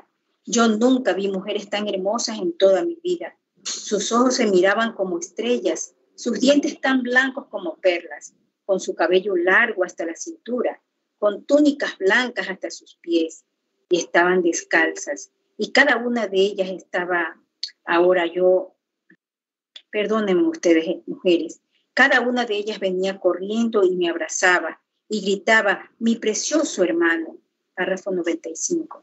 Ahora miren, Dios sabe que cuando yo era un niño, ustedes leyeron mi historia, cuando yo tenía siete años de edad, el ángel del Señor me encontró como un remolino en ese árbol ese día y dijo, nunca fumes, bebas o contamines tu cuerpo. Yo nunca fumé en mi vida, nunca bebí en mi vida y yo tengo, yo no he conocido mujer sino a mi esposa. Y así que entonces yo no viví inmoral cuando yo era un pecador, y, pero desde que he sido un cristiano, yo he tratado de vivir tan recto como sé vivir. Y Dios sabe que eso es la verdad. Y permítanme decir esto, a mí no me interesa cuán santo sea un hombre mientras sea humano. Él no puede abrazar al otro sexo, una mujer, sin tener una sensación humana. Y a mí no me interesa. Usted me dice, eso y yo le diré a usted que usted está mintiendo. Eso es, si usted es completamente un hombre, si usted verdaderamente es un hombre, es de esa manera, usted no lo puede evitar. Usted es un humano. Mire, yo no digo que usted haría algo malo, pero la sensación está allí exactamente sin faltar. Pero en este lugar no había, alabado sea Dios, no había allí era como, no como cuando yo abrazo a mi propia hermana Dolores, ni era como una madre abrazando a su bebé. Yo, yo no sé, era perfecto. 96. Y yo miré y ahí venía un grupo de hombres, parecía millones de ellos, que venía de esta dirección y todos ellos estaban, tenían puestas túnicas blancas y ellos tenían el cabello largo hasta su cuello, como sin peinar y ellos me estaban abrazando y gritando, nuestro precioso hermano. Yo dije, yo, yo no sé, y me volteé, miré, y ahí estaba yo acostado en la cama. Ahora, en donde sea que eso esté, no está muy lejos de aquí. Si es otra dimensión o qué, no lo puedo decir, pero miré hacia atrás y me vi a mí mismo acostado en la cama. Miré en esta dirección y ahí estaba esa, esta gente. Y eso, si yo dijera perfecto, eso no lo describiría. Si yo dijera sublime, yo no lo puedo encontrar la palabra inglesa. No había ayer ni mañana, todo era presente, ni enfermedades, ni dolores, ni pecado, ni cansancio. Ellos no comían ni bebían, ellos no dormían, no tenían que hacerlo, pero sin embargo eran seres. Y ellos me abrazaron y lo sentí igual que siento mis propias manos de esta manera. 97 y miré abriéndose paso entre la multitud y ahí venía mi propia esposa querida. Ella murió cuando era cuando ella tenía 22 y ahí venía ella, la madre de Billy. y ella vino. Yo dije, ella me llamará su esposo. Ella se estaba abriendo paso entre las mujeres, moviendo su mano en ademán de saludo de esa, de esa manera. Yo podía ver esos ojos negros brillando. Ella era una muchacha alemana. Ella se acercó corriendo y me abrazó. Ella dijo, mi precioso hermano. Y estaba una mujer muy hermosa parada allí que me abrazó y dijo, nuestro precioso hermano. Y entonces Esperanza abrazó, esa era mi esposa, ella abrazó a esa, a esa otra mujer. Ella dijo, ¿no es maravilloso? Él ahora está con nosotros. Yo dije, yo, yo no entiendo esto. Yo dije, yo, yo no puedo entender. Párrafo 98. Y estos hombres me levantaron y me pusieron en un lugar alto y grande y me sentaron. Y ellos estaban alabando a Dios Ninguno de ellos se estaban besando, solo me estaban abrazando, diciendo, hermano, nuestro precioso hermano. Y yo miré y la gente estaba viniendo de todas partes. Y yo dije, ¿qué es esto? Y esa voz que no provenía de ninguno, la misma voz que me había hablado en la habitación todavía estaba conmigo. Él dijo, esto es amor perfecto. Y yo siempre he enseñado que la evidencia del Espíritu Santo es amor perfecto, ¿ven? Yo creo en hablar en lengua, seguro, pero si yo hablase lenguas humanas y angélicas y no tengo amor, nada soy. Vengo a ser como metal que resuena o címbalo que retiñe. Así que cuando usted hable en lenguas y tenga amor en ello, eso se lo mostrará a usted. Párrafo 99 por último. Y el amor que tenemos aquí sería como empezar aquí de una sombra, de la sombra, de la sombra a la sombra, y de la sombra a, a una llovizna, y a una pequeña humedad, y a un arroyuelo, a un río, y luego al océano. Allí es a donde llega. Todo simplemente perfecto. Usted no podía morir, usted no podía estar en pecado. Oh, yo nunca, yo, yo nunca podré explicar lo que era ese lugar, ¿ven? es, es, sencillamente, era sencillamente perfecto, más allá de perfecto. Y en ese momento allí estaba un, yo dije, yo, yo no entiendo lo que es esto. Una mujer muy hermosa se acercó corriendo y ella dijo, oh, mi precioso hermano. Ella dijo, estoy tan contenta que usted ha llegado. Y ella se dio la vuelta y se fue. Y yo la miré y pensé, qué cosa, todas son tan hermosas y tan jóvenes y tan... Y yo dije, ¿qué es esto? Y esa voz dijo, aquí todo lo que se asemeja a la vejez y todo es regresado a perfección. Amén, hermanos, Dios le bendiga. Amén, hermana Rosalia, Dios le bendiga. Estamos lecturando este glorioso mensaje desde ese entonces servicio realizado en Claman Fall, Oregon, Estados Unidos, día 16 de julio del año 1960. Continuamos con la lectura, hermana Margarita, en los párrafos 100 al 106.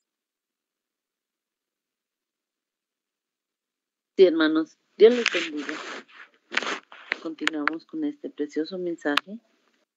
Desde ese entonces, párrafo 100. Ven, nosotros comemos comida hasta que llegamos a cierta edad cuando yo tenía 16 años, yo comía el que la ciencia me conteste esto. Yo comía la misma comida cuando tenía 16 años de edad que la que como ahora. Frijoles, pan, papas, carne. Y cada vez que como, renuevo mi vida. Todos saben eso. Las células rojas. Y eso es como venimos aquí. Y mi vida y perdón, y ahora un doctor sentado aquí diría lo mismo. Luego, me puse más fuerte, más fornido todo el tiempo. Y cuando llegué como a los 22, ustedes también. Yo todavía como la misma, como la misma comida. Y me estoy poniendo más viejo y más débil todo el tiempo. Poniendo vida nueva en mi cuerpo. Explíquemelo, científicos. Si yo estoy vertiendo agua de un jarro a un vaso y cuando llegue a la mitad de lleno, yo sigo vertiendo más y se sigue bajando. Científicamente, dígame tocante a eso, ¿qué es? Es una cita que Dios hizo.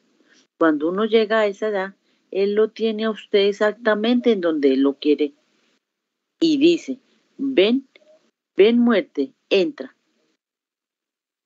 Pregúntale a la ciencia si ustedes no empiezan a morir después de los 22 años de edad, más o menos. No importa cuán bien ustedes coman, ustedes están muriendo y yéndose finalmente. La muerte está atrás de ustedes, allí mismo, pero ustedes están creciendo hasta que llegan a esa edad. Desde unos, están en lo mejor de su vida, de como los 15 hasta los, como a los 22, correcto. Párrafo 101. Esa gente se miraba a estar en su culminación sencillamente en lo mejor de su vida y yo los estaba mirando a ellos allí como ellos se miraban. Así que eso, yo pensé, no es eso maravilloso.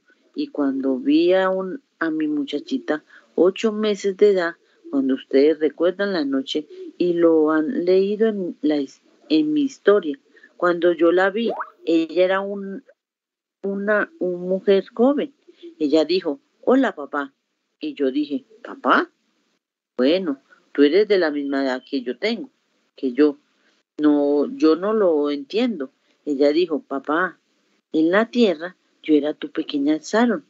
Y yo dije, ¿en dónde estás tú? ¿Dónde está tu madre? Dijo, ella está allá en tu casa, esperándote. Ella dijo, yo esperaré aquí a Billy Paul, mi hermano. Párrafo 102. Y cuando salí de la visión, Esperanza tenía su brazo puesto sobre mi hombro allí.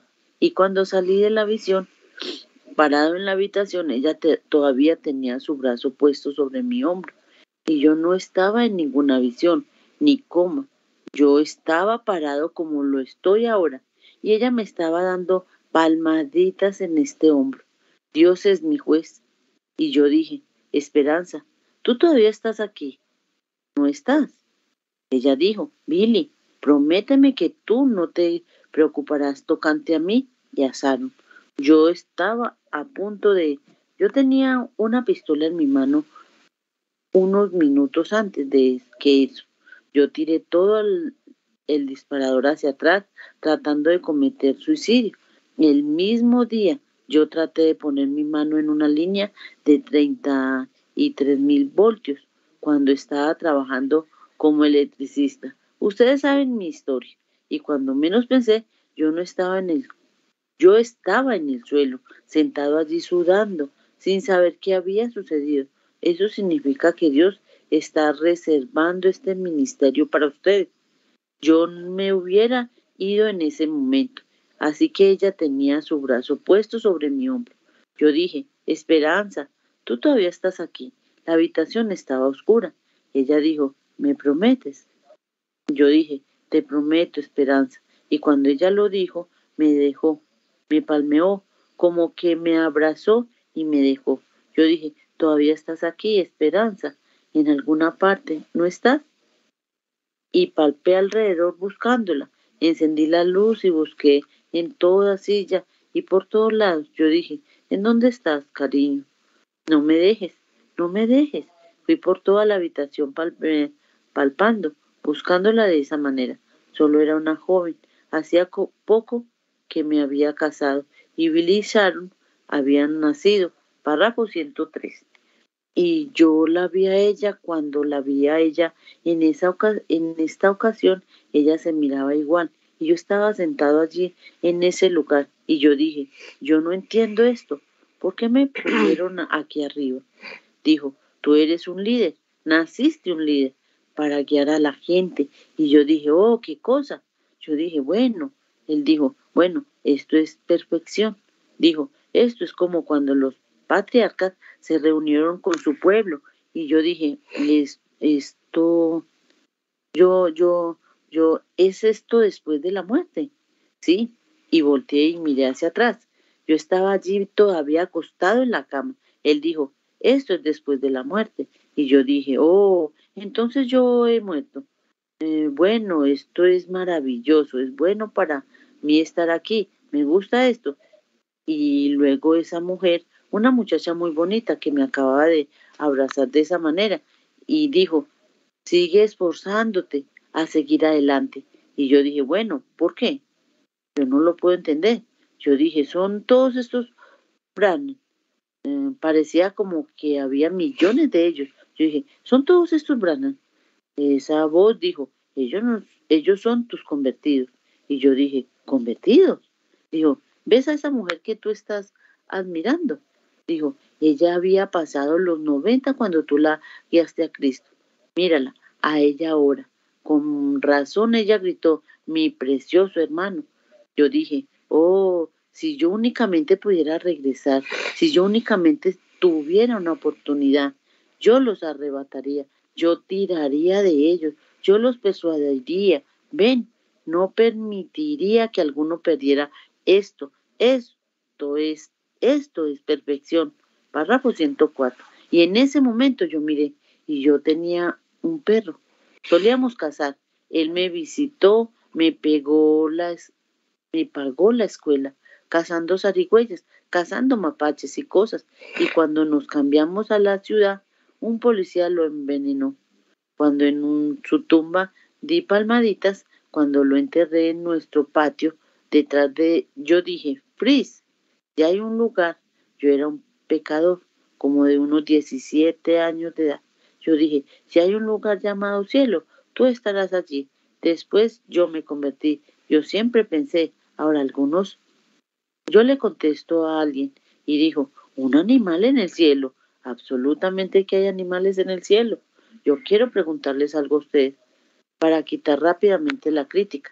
Díganme, ¿qué le sucedió a esos caballos y carros que descendieron y levantaron a Elías y subieron? ¿En dónde estaba ese caballo que Jesús venía cabalgando con su vestidura teñida en sangre, cabalgando un corcel blanco? Ven, ¿en dónde se van a alimentar juntos ese lobo y ese cordero y donde el león comerá paja con el buey? ¿De dónde viene eso? Párrafo 105. Y yo miré descendiendo de la colina, ahí venía Fris. Él me miró y vino a mí y me lamió la mano. Y yo le acaricié palmeándolo quedadamente y en ese momento Príncipe, mi caballo, vino y puso su cuello sobre mi hombro y empezó a relinchar. Yo dije, oh Dios, yo miré hacia arriba y él dijo, todo lo que alguna vez amaste y todos los que alguna vez te amaron están reunidos aquí. Y yo dije, yo quiero ver a Jesús, yo quiero ver al que yo he amado y por el que he trabajado. Y ellos dijeron, tú no lo puedes ver ahorita, él está más alto que esto, pero algún día él regresará. Y cuando él venga, él vendrá primero a ti y tú serás cuestionado en el Evangelio que tú predicaste, aleluya. Y entonces si tú pasas la prueba, entonces nosotros iremos contigo para regresar con Él, de regreso a la tierra, y vivir juntos para siempre en un cuerpo, un cuerpo de carne, en el cual comeremos y beberemos. Como dije, ¿me quieres decir que Él me cuestionará en la palabra que yo prediqué? Digo, sí. Lo, y lo dijo esa voz que me hablaba. Y yo dije, bueno, San Pablo también será cuestionado. Dijo, seguro que sí, con su congregación. Yo dije, entonces si Pablo lo, la pasa, yo también la pasaré. Yo dije, yo la he predicado exactamente de la manera que él la, lo hizo. No quité ni una sola palabra. Y entonces esos millones gritaron, aleluya. Sabemos eso y estamos descansando seguros. Y en ese momento yo oí la voz decir, Sigue esforzándote a seguir adelante y sentí desesperada y sentí desprenderme. Yo dije, yo no tengo que regresar. ¿Tengo? Sigue esforzándote a seguir adelante. Y volteé y miré mi cuerpo. Lo vi moverse. Yo estaba volviendo en sí. Y en un momento yo estaba otra vez en la habitación. Párrafo 106 para terminar. Amigos, desde ese entonces yo he sido una persona cambiada. Yo no sé lo que ustedes pensarán tocante a esto, pero con mi mano en la Biblia, eso es la verdad. Eso, en donde sea que es, yo no sé si será aquí o será una visión. Yo nunca he tenido una igual. Y digamos que fue una pequeña traslación. Yo no digo que lo fue. Digamos que mi espíritu salió y fue allá. Yo no sé lo que fue. Si, si eso es glorioso bajo ese primer cielo, ¿qué ha de haber visto Pablo cuando fue al tercer cielo y regresó y dijo, ojo, no ha visto, oído, no ha oído, ni tampoco ha entrado en el corazón del hombre lo que Dios ha preparado para aquellos que le aman, aleluya. Yo he estado más determinado. Yo he, este es mi segundo avivamiento desde entonces. Yo he estado más determinado a hacer todo lo que pueda para persuadir a los hombres y a las mujeres. Por favor, estén seguros de esto. Si el amor de Dios no se ancla supremamente en su corazón, no tomen ninguna sensación ni emoción. Esté seguro que usted, se puede voltear la otra mejilla, que, que Dios es, que Cristo es todo en todo para usted. No se lo pierda, mi hermano. Dios les bendiga, hermanos. Párrafo 107. Amén, hermana Margarita, Dios le bendiga, glorioso mensaje, glorioso tiempo que vivimos, mis amados hermanos y hermanas, y agradeciendo a Dios por estos gloriosos mensajes, vamos a continuar con la lectura de este glorioso mensaje titulado Desde ese entonces, clama Juan Oregón, Estados Unidos, día 16 de julio del año 1960.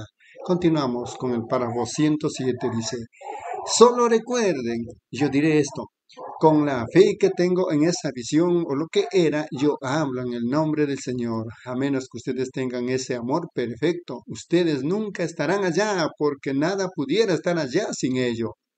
El espíritu de ustedes estaría fuera del lugar allá. No pudiera ir, no hubiera manera para que fuera, igual que no hubiera manera para que un grano de maíz se levantara en el suelo sin un germen de vida en él. No importa cuán natural se mirara, no se podría levantar. Mis amigos, ustedes ancianos, ustedes jovencitos, ustedes no saben en qué hora van a partir. Nosotros no sabemos de eso, pero permítanme persuadirlos a ustedes como un hermano cristiano, uno que los ama, a menos que nazcan de nuevo y que el Espíritu de Dios de amor entre en sus corazones, ustedes ciertamente fallarán de estar en ese lugar. Permítame preguntarles si Dios me ha dado, me ha, dado favor entre ustedes y ustedes me creen, yo soy honesto. ¿Qué sucedió? Yo no sé, pero Dios en el cielo, ¿quién es? ¿Quién es omnipresente y está aquí ahora cuando yo dije este mundo, Padre Celestial, por favor, permíteme descansar allí hasta que Jesús venga. Esa es, esa es, esa será, esa será la recompensa suficiente para mí si yo solo puedo descansar en ese lugar hasta que yo lo vea a Él venir. 108. Y luego me fue revelado. Si esta morada terrestre se deshiciere, tenemos uno esperando, tenemos uno esperando, hermano, hermana, eso es verdad. Ahora yo pienso que tengo el Espíritu de Dios y el Espíritu que está en mí no es eso, yo no lo sé. Miren, tomemos la naturaleza de ello.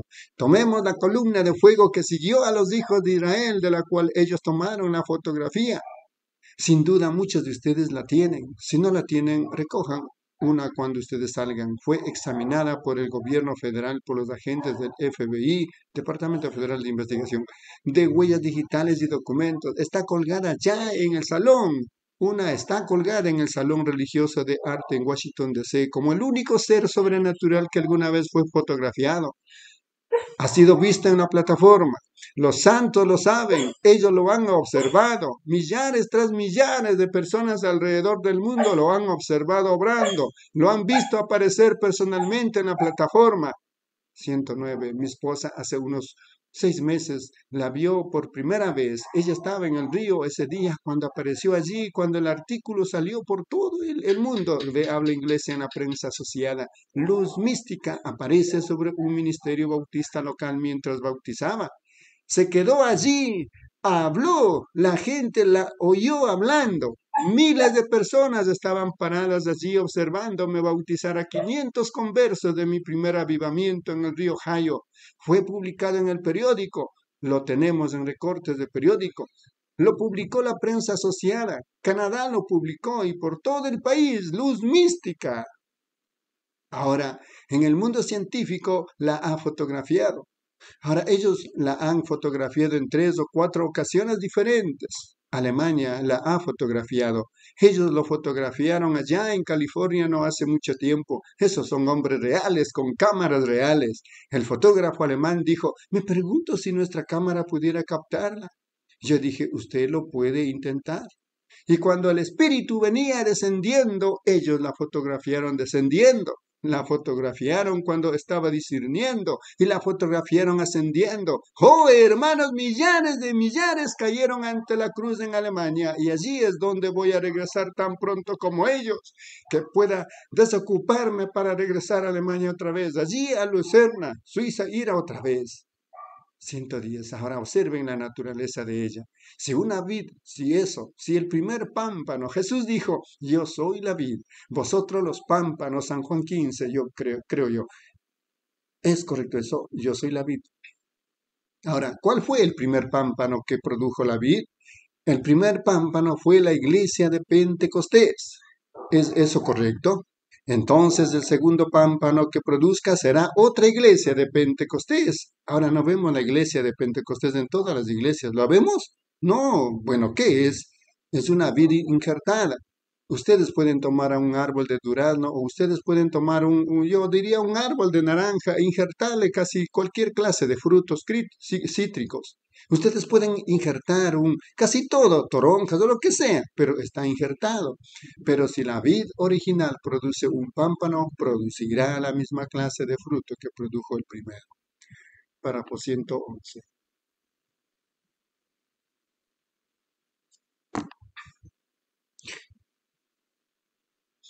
Ahora, si Jesucristo es la vid y su vida, ahora recuerden, su, la vid nos lleva el fruto. Los pámpanos llevan el fruto, pero es energizado por la vida. ¿Es correcto eso? Bueno, entonces si la vida de Cristo está en nosotros, producirá su espíritu y sus obras. ¿Es correcto eso? Tiene que, porque es la vida de Dios. Ahora miren, observen este ángel del Señor. Sabemos que eso es verdad. Ahora, Observen qué clase de naturaleza él tiene. Lleva el mismo fruto que llevó cuando estuvo aquí en la tierra. Ahora está de regreso en la iglesia, llevando el mismo fruto, formando otra iglesia de Pentecostés, exactamente de la manera que lo hizo la primera vez. Ahora, esa iglesia selló su testimonio con su sangre. Ellos eran gente piadosa, amaban a Dios, se quedaron con eso. Párrafo 112. Y por lo que más quieren, por lo que más quieren, amigos. Permítame preguntarles a ustedes si ustedes creen que yo soy un siervo de Dios. Permítame decirles algo. No fallen en ir a ese lugar maravilloso. No fallen en ir. Inclinemos nuestros rostros por un momento. Me pregunto ahorita, antes que sigamos más adelante en el servicio, hay uno aquí, dos, una docena. ¿Cuántos hay aquí que les gustaría decir, hermano Branham? Recuérdeme en oración ahorita, desde que usted contó esto, yo he tenido un poco de temor de la muerte. Yo, yo, yo quiero tener esa seguridad. Yo quiero levantar mi mano a Dios y decir, ore por mí. Dios te bendiga ahí, hijo, Dios lo bendiga. Dios lo bendiga a usted, a usted. Sí, a todos allá atrás. Dios los bendiga. Dios los bendiga por todo el edificio, en los balcones. Vemos sus manos allá arriba. Yo quiero tener esa paz, que todo pasa todo entendimiento. Párrafo 113 por último. Yo estoy observando, orando, levanten sus manos, que el Espíritu Santo hable. Si usted muere en esta noche, se va a ir a donde hay lamenta, lamento y crujir de dientes. ¿O quiere usted entrar en ese bendito y dulce descanso en Él? Yo lo digo en el nombre del Señor, con la unción del Espíritu Santo. Dios te bendiga, cariño. Dios lo bendiga allá atrás. Dios lo bendiga, hermana. ¿Alguien más? Levante su mano. Dios lo bendiga. Dios lo bendiga. Correcto. Dios lo bendiga. Estoy observando, solo esperando un momento. Todos estén con sus rostros inclinados, orando. Muy bien. Solo continúen. Dios lo bendiga. Yo lo veo. Yo estoy observando algo. Dios lo bendiga. Eso está bien, muy bien. ¿Alguien más? Solo continúen esperando. Amén, mis amados hermanos. Continuamos con la lectura de este mensaje titulado Desde ese entonces, servicio realizado en Clamalfar, Oregon, Estados Unidos, día 16 de julio del año 1960. Continuamos, hermana Reina, en los párrafos 114 al 120.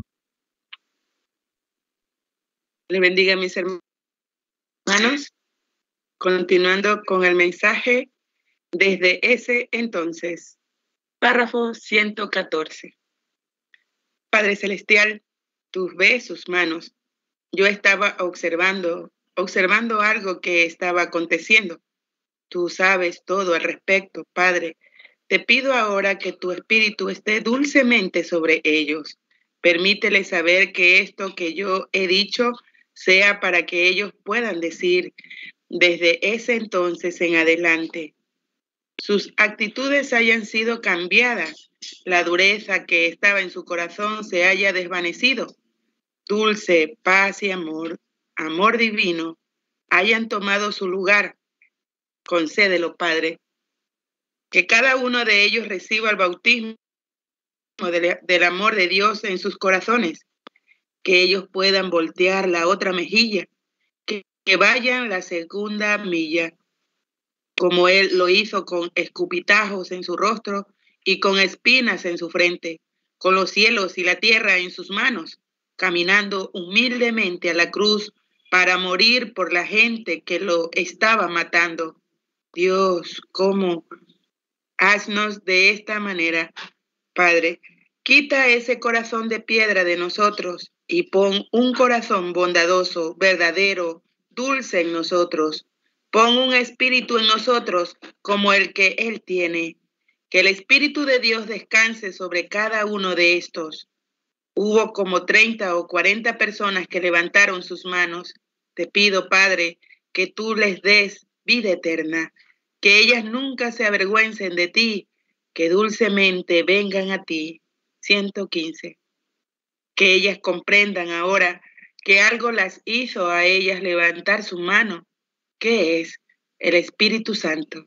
El Espíritu de Dios que está sobre ellas ahora les causó que levantaran sus manos para hacer una decisión.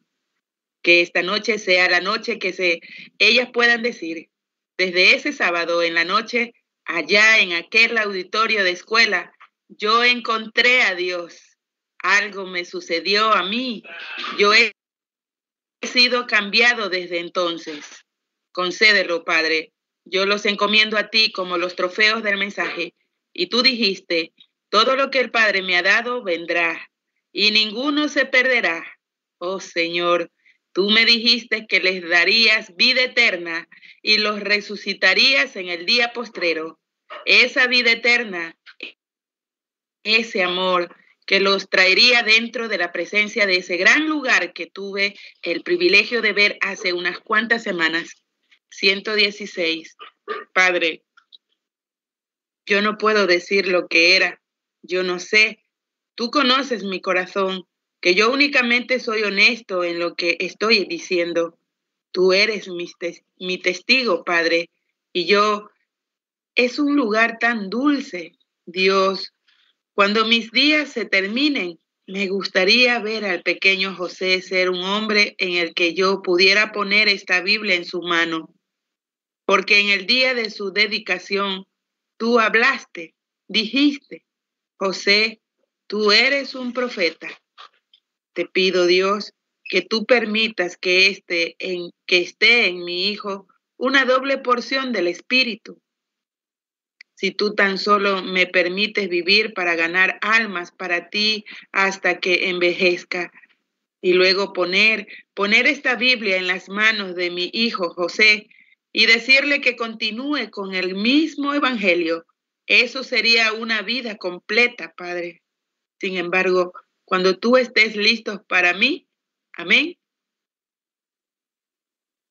Qué hermoso descanso. Yo, yo anhelo ver ese lugar otra vez. Señor Jesús, que cada uno que está aquí esta noche, toda persona que ha oído el mensaje en esta noche, que ninguna de ellas se pierda, pero que a cada una yo la vea allá Luego cuando corramos y nos abracemos uno al otro, cuando no haya diferencia entonces entre hombre y mujer. 117. No hay diferencia. La, la huella del pecado ha desaparecido. Entonces verdaderamente seremos hermanos y hermanas en donde podamos vivir. Ya nunca el pecado podrá entrar, ni pensamientos malos. Nada puede entrar a esa esa clase de lugar. No puede haber contaminación. todos seremos uno en Cristo. Permítenos aparecer allí, Señor. Permite que estas ancianas y ancianos comprendan que yo les he dicho la verdad. Es, es la verdad. Permite que estos jóvenes conformen sus vidas a esto. Que se paren en las encrucijadas esta noche que ellos escojan la manera correcta para que no haya tristeza en el día de su partida. Concédelo, Señor. Concédelo, Padre. Yo los encomiendo en tus manos ahora, en el nombre del Señor Jesucristo. Amén. 118. ¿Se sienten muy bien? ¿Creen ustedes que el Espíritu de Dios les causó que ustedes levantaran su mano? ¿Creen ustedes que fue eso? ¿Creen ustedes que proviene de Dios? Lo conté de mi corazón. 119. Cuando le hablé a un rabí aquí no hace mucho tiempo, él dijo, señor Branham, usted lo llama a él el Hijo de Dios. Dijo, lejos sea de Dios que tenga un hijo. Yo dije, él sí fue el Hijo de Dios. Dijo, que Dios tenga un hijo. Él no era ni Jesús ni el Cristo. Dijo, él pudiera haber sido Jesús, pero él no era el Cristo. Fue, mejor dicho, de esa manera.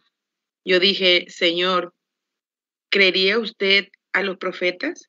Él dijo, sí, seguro que yo creo a los profetas. Él era un rabí, un rabí judío en Benton Harbor, Michigan. Yo dije, John Ring había sido sanado estando ciego por 20 años. Se sentaba en la calle. Él dijo, yo le he dado mucha limosna a John. Él dijo, ¿con qué? ¿Con qué poder? ¿Con qué autoridad le dio usted a él su vista? Yo dije, yo nunca le di a él su vista. Él recibió su vista por medio de fe en el nombre de Jesucristo, el Hijo de Dios. Él dijo, ¿cuál Hijo de Dios? ¿Cómo pudiera Dios tener un hijo? Y yo dije, Él tuvo un hijo. Yo dije, ¿cree usted en Isaías 9:6? Dijo, seguro. Yo dije, ¿de quién estaba hablando el profeta? ¿Del Mesías? Dijo, sí. Yo dije, ¿qué, qué relación tendrá el Mesías con Dios? Él dijo, Él era Dios, Él será Dios. Yo dije, así también era Jesús. Él era Dios hecho carne y habitó entre nosotros. Dios mismo se expresó a través de un cuerpo. Él, Él era Dios hecho carne. El Espíritu de Dios habitó en Él en la plenitud. Nosotros lo tenemos por medida. Párrafo 120. Y nosotros observamos su vida. Ahora, el Espíritu de Dios está en nosotros, pero el problema es que nosotros no podemos abrir esos pequeños canales obstruidos para permitir al Espíritu fluir a través de ellos. Ahora, el Espíritu de Dios, si Él estuviera en la iglesia en esta noche, daría testimonio del Espíritu de Dios. ¿Es correcto eso? ¿Hay algunas tarjetas de oración en la reunión? ¿Repartió Él las tarjetas de oración? ¿no? ¿Hay tarjetas de oración? ¿No? No hay tarjetas de oración, pero hay un Dios. Su nombre es Jesucristo. Él es el Hijo de Dios. Yo creo que tengo su unción. El mensaje que yo les he predicado a ustedes, si es de Dios, que Dios vindique su propia palabra. Yo no planeé hacer esto, pero yo, yo siento una urgencia por esto antes que yo diga algo más. ¿Cuánta gente enferma hay aquí? Levanten su mano, que ustedes están enfermos y necesitan a Dios. Levante su mano. Solo levanten su mano. Digan, yo creo. Amén. Dios le bendiga, mis hermanos. Amén, hermana Lina, Dios le bendiga. Continuamos con la lectura desde ese entonces, clama en Fall, Oregon, Estados Unidos, día 16 de julio del año 1960. Hermana Rosalia, por favor, en los párrafos 121 al 127. Amén, hermano. Continuando con el mensaje desde ese entonces, párrafo 121. ¿Creen ustedes Si Dios viene aquí y hace las mismas obras que Él hizo, ¿cuántos creen que Jesucristo es el sumo sacerdote en estos momentos? En el libro de Hebreos es correcto eso, hermanos, es correcto eso. Él es el sumo sacerdote que puede compadecerse de nuestras debilidades. ¿Cuántos saben que eso es la Biblia? ¿Cuándo es Él? Ahorita, bueno, si Él es, y la Biblia dice, Hebreos 13:8, Él es el mismo ayer, hoy y por los siglos. ¿Es correcto eso? Muy bien. Si Él es el mismo sumo sacerdote, entonces, sí, y Él es el mismo ayer, hoy y por los siglos. Si ustedes lo tocan a Él, ¿cómo actuaría hoy? Si Él es el mismo, Él, él actuaría de la misma manera. ¿Es correcto eso? Entonces una mujer en una ocasión se abrió paso entre la multitud y tocó su manto y ella sintió en sí misma que estaba sanada y se fue y se sentó en la multitud. Mucha gente lo estaba tocando a él diciendo, oh, hola rabí, estamos contentos de que estés aquí y demás. Y entonces esta mujer, Jesús dijo, ¿quién me tocó? Pero lo amonestó. Pedro lo amonestó, pero él dijo, yo he conocido que ha salido poder, fuerza de mí. Y él miró por todas partes en la audiencia hasta que encontró a la mujercita. Le dijo que ella tenía un flujo de sangre y que su fe la había salvado. ¿Es correcto eso? Párrafo 122. Bueno, ahora si él es el mismo sumo sacerdote, ¿no haría él la misma cosa en esta noche si él fuera tocado? Ahora, ¿cómo lo haría él? Él es la vida ahora. Nosotros somos los pámpanos. ¿Es eso correcto? Bueno, entonces él actuaría a través de los pámpanos si es un pámpano correcto que sale de la vida, actuaría de la misma manera que la vida que estaba en la vida. ¿Es correcto eso? Ahora, ustedes oren, ustedes crean. Yo oro, yo creo. Y sobre la posición que yo he tomado por Dios alrededor del mundo y este ministerio de discernimiento ahora se está yendo y yo estoy entrando en un ministerio más elevado de hablar la palabra y ven ustedes lo que Dios ha hecho. Él lo ha puesto de nuevo en las manos de la gente. Que ellos vengan con el acercamiento correcto y observen lo que sucede. Pero ellos tienen que tener el acercamiento correcto. ¿Ven? ¿Ven? ¿Ven? Nadie puede sanar.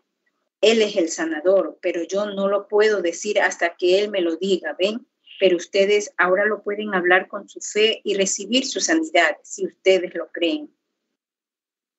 Ustedes empiecen a orar en su corazón. Señor, permítele que me hable. Vean lo que sucede. Y si Él lo hace, quiero que cada uno que levantó su mano, que venga aquí y se pare alrededor del altar y haga su paz con Dios. Dios, ustedes oren, tengan fe. Párrafo 123. Ahora, Padre Celestial, después de predicar de esa manera, esto es un completamente un cambio.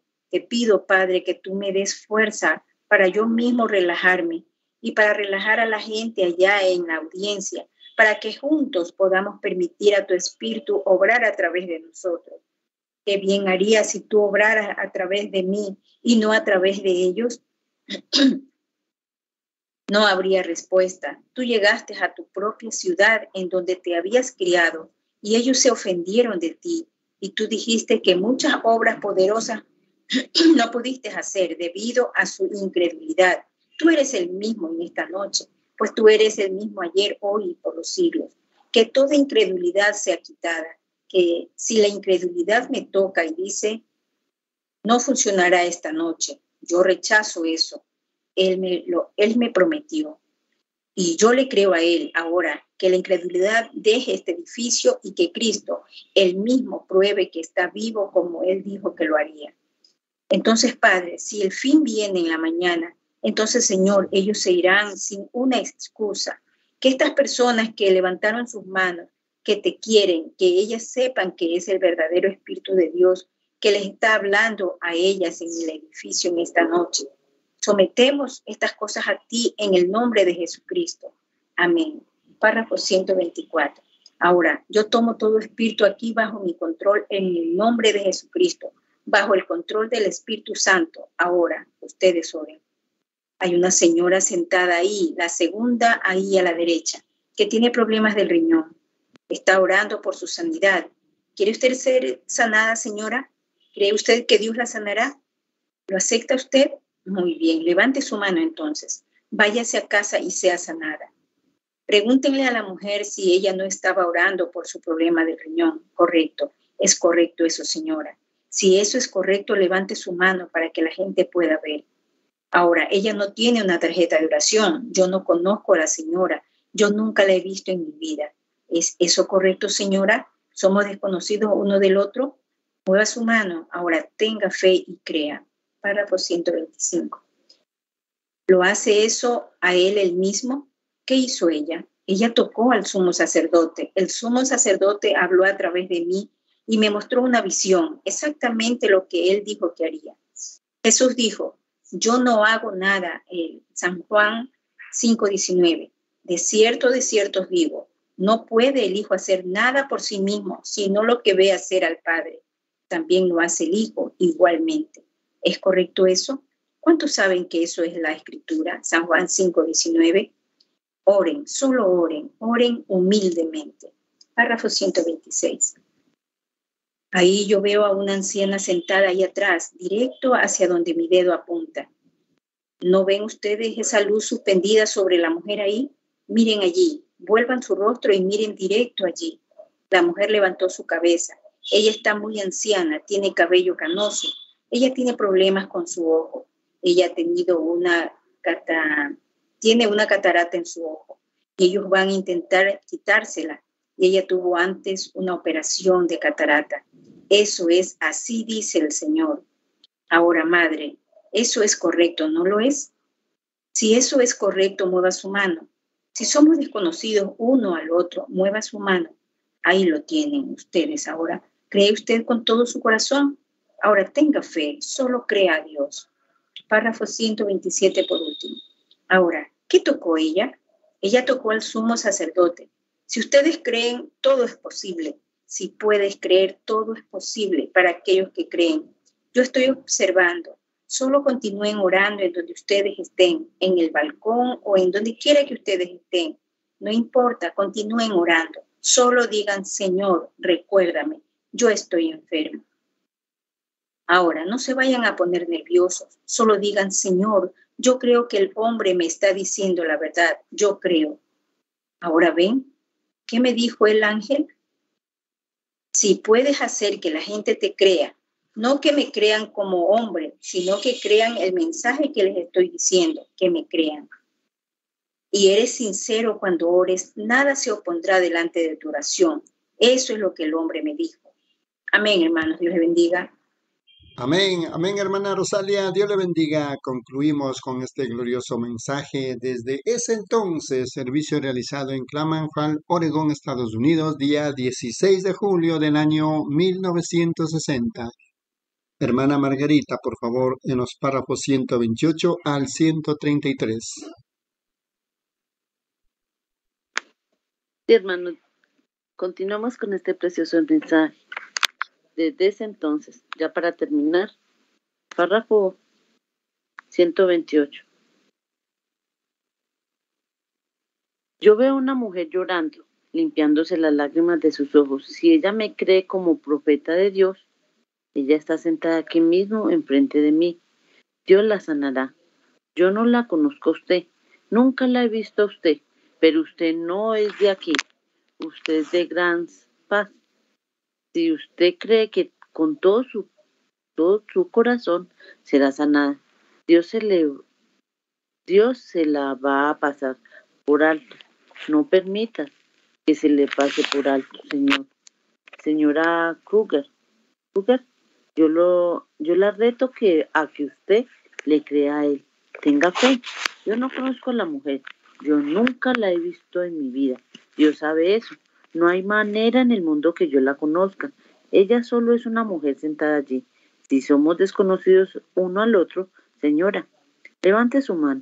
Bueno, lo que él le haya dicho a usted, ¿eso es verdad? Mueva su mano de un lado al otro. De esta manera, muy bien. Si usted cree. Párrafo 129. Yo veo a una mujer sentada allá muy atrás. Allá tiene un ella tiene un vestido azul con un diseño de bolitas blancas. Ella tiene un crecimiento en su lado izquierdo. Tenga fe, no dude, no le pase por alto. Dios, señora Cliff, tenga fe en Dios, cree con todo su corazón y el Dios Todopoderoso la sanará y la hará saludable. ¿Cree en usted ahora con todo su corazón? ¿Qué piensa usted tocante a Él? ¿Cree usted que Dios la puede sanar, hermana? Seguro que le puede. Él puede. ¿Cree usted que se, que se le va a ir su... Muy bien, usted puede obtener lo que usted pidió. ¿Creen ustedes ahora en Él? Entonces el espíritu que me llevó allá es el mismo espíritu que está aquí, que el mundo científico fotográfico como un ser sobrenatural que por primera vez fue fotografiado es un gran es una gran columna de fuego, la misma que guió a los hijos de Israel. Aquí está ella ungiéndonos en esta noche, haciendo las mismas obras que ella hizo cuando estaba en Jesucristo, estando Él en la tierra. Un poco y el mundo no me verá más. Dijo Jesús, pero vosotros me veréis porque yo, yo es un nombre personal. Yo estaré con vosotros, aún en vosotros hasta el fin del mundo. Jesucristo es el mismo ayer, hoy por los siglos. Párrafo 130. Hermanos, oh Dios, que no pueden comprender.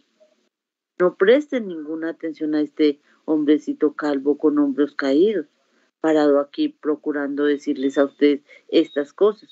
No me miren a mí, sin educación, tosco, no se fijen en eso. Observen la naturaleza del espíritu que está obrando a través de mí. Crean al Señor Jesús. No soy yo, yo no los conozco, no sé nada tocante a ustedes. Es Él, Cristo cumpliendo su palabra, de lo que Él dijo que haría.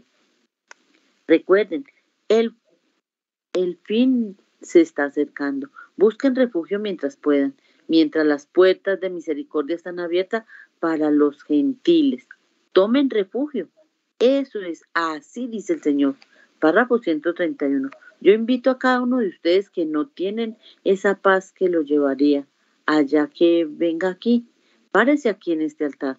Todo pecador que hay aquí, todo descarriado, quiero que ustedes vengan y se paren aquí en el altar. Si el Espíritu de Dios está aquí, que los conoce a ustedes, de seguro Él sabrá qué hacer. Dios, los Dios lo bendiga, Señor. Levántese y venga aquí. Sepan cuán sinceros son vendrían de allá para acá si es que significa la diferencia entre ir al cielo o perder su salvación. Usted dice, yo soy miembro de la iglesia, yo he nacido de nuevo. ¿Tiene usted ese amor? ¿Está seguro? No tome riesgos con, en eso. Cantemos ahora. Yo le amo, yo le amo, porque él a mí me amó. Dios lo bendiga, mi hermano. Y mi me compró mi salvación allá en la cruz. Párrafo 132. Que todo pecador venga ahora, ¿lo hará? Parece aquí. No importa su aflicción, la iglesia, de, perdón, no importa, perdón, no importa su aflicción de iglesia, su credo, su, perdón, otra vez, no importa su afiliación de iglesia, su credo, su color, quien quiera que sea usted, Dios lo bendiga, jovencito, que el Señor lo haga un predicador. Muy bien, vengan, vendrán ahora, aún antes que cantemos las, la alabanza. Ustedes que, que levantaron su mano, que quieren encontrar esa paz, vengan. La paz que pasa todo entendimiento. No vendrán ustedes. Yo lo amo. Se necesita su amor para llevarlo allá. Yo, levántese, levántese y venga aquí. ¿Lo harán? ¿Por qué? Y no vendrán. Hubo unas cuantas, unas 30 manos que se levantaron, salvación allá en la cruz. Párrafo 133 para terminar. Ahora, un momento, Dios los bendiga a ustedes que están parados aquí, ustedes tres hombres. Yo pensé que eran las mujeres las que llevaban la delantera. Escuchen, esto es para la iglesia. Esto no es, es en el esto es en el nombre del Señor. Yo estoy profetizando. Esa es la razón que no podemos tener avivamientos. Esa es la razón que el Espíritu de Dios no se puede mover en la audiencia. Esa es la razón que mi ministerio al parecer ha llegado a ser impopular para la gente. El Espíritu Santo viene y confirma todo lo que él dijo que él haría y la gente levanta su mano y se queda en sus asientos. Eso no es sinceridad. ¿Cómo entonces pueden ustedes esperar tener un servicio de sanidad? ¿Cómo pueden ustedes esperar que la iglesia siga adelante a su perfección? Cuando 30 personas levantaron sus manos y solo tres vienen. Escúchenlo. Esto es en el nombre del Señor. América ha visto su día. Nunca más se levantará. Va su ruina. Yo hablo en el nombre del Señor. Yo, Dios les bendiga. Amén, hermana Margarita, Dios le bendiga. De esta manera, mis amados hermanos y hermanas, hemos concluido con este glorioso mensaje desde ese entonces. Clama Fall, Oregon, Estados Unidos, día 16 de julio del año 1960. Que quede plasmado en cada uno de vuestros corazones, mis amados hermanos y hermanas. De inmediato, tenemos un tiempecito más y vamos a continuar con el siguiente mensaje titulado No temáis, también predicado por nuestro profeta Elías allá en Claman Fall, Oregón, Estados Unidos, día 17 de julio del año 1960. Voy a iniciar los primeros párrafos. Dice, muchas gracias, gracias. Eso es sencillamente, me hace sentir doblemente bienvenido. Yo verdaderamente aprecio eso y yo he en favor del hermano Borders y el hermano Mercier, el hermano Webb Billy Paul y yo mismo queremos decir que esta ha sido una gran reunión para nosotros. Yo no he tenido una reunión, no sé en cuánto tiempo, en la que el Espíritu Santo pareció dar libertad casi a todo y gran libertad para hablar.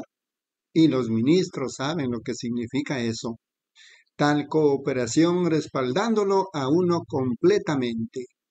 Y sencillamente es una lástima que no tuvimos a toda la ciudad reunida aquí para ver lo que el Señor hizo, pero Él nunca yo, eh, el Espíritu Santo estaba dando visiones por todo el edificio tan rápidamente y al grado que, honestamente, algunas veces tuve que voltear mi rostro hasta que recibía la fuerza suficiente para avanzar un poquito más adelante.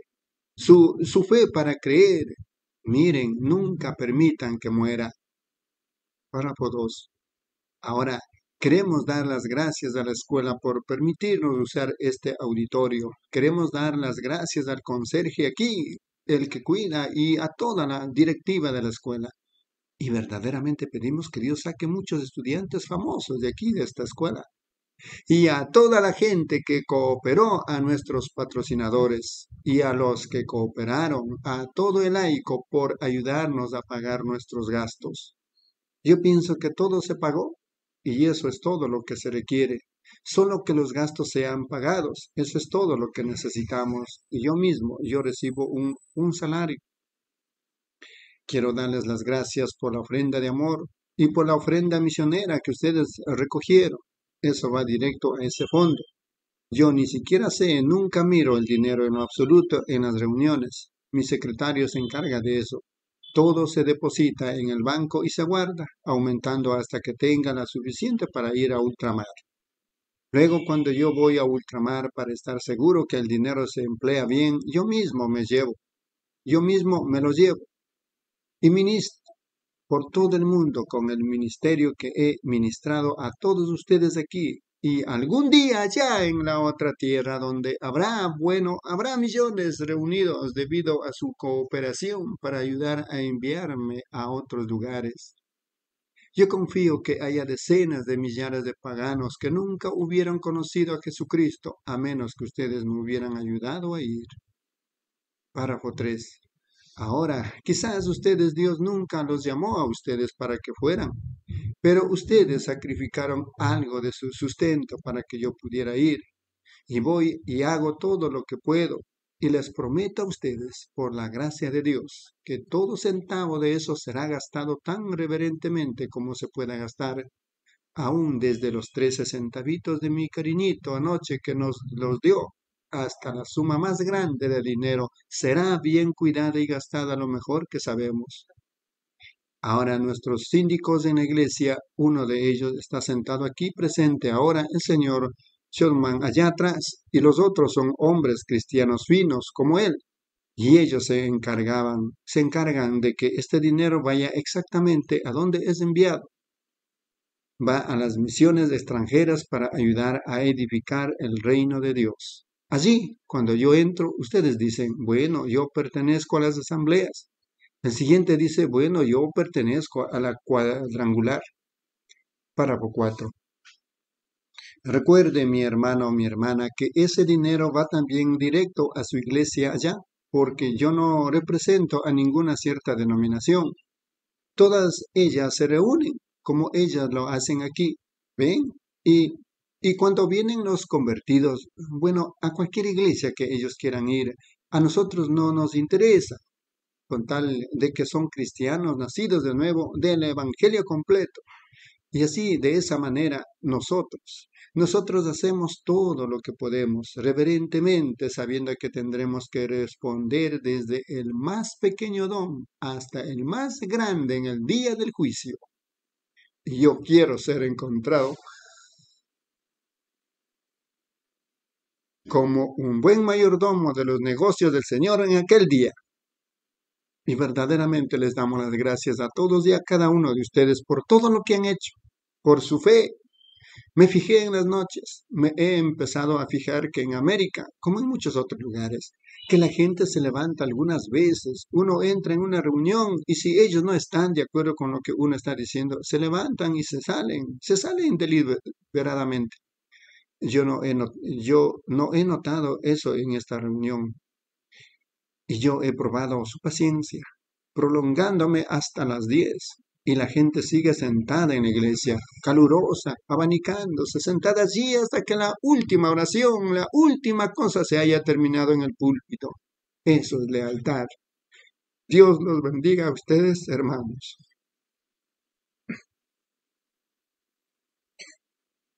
Párrafo 5.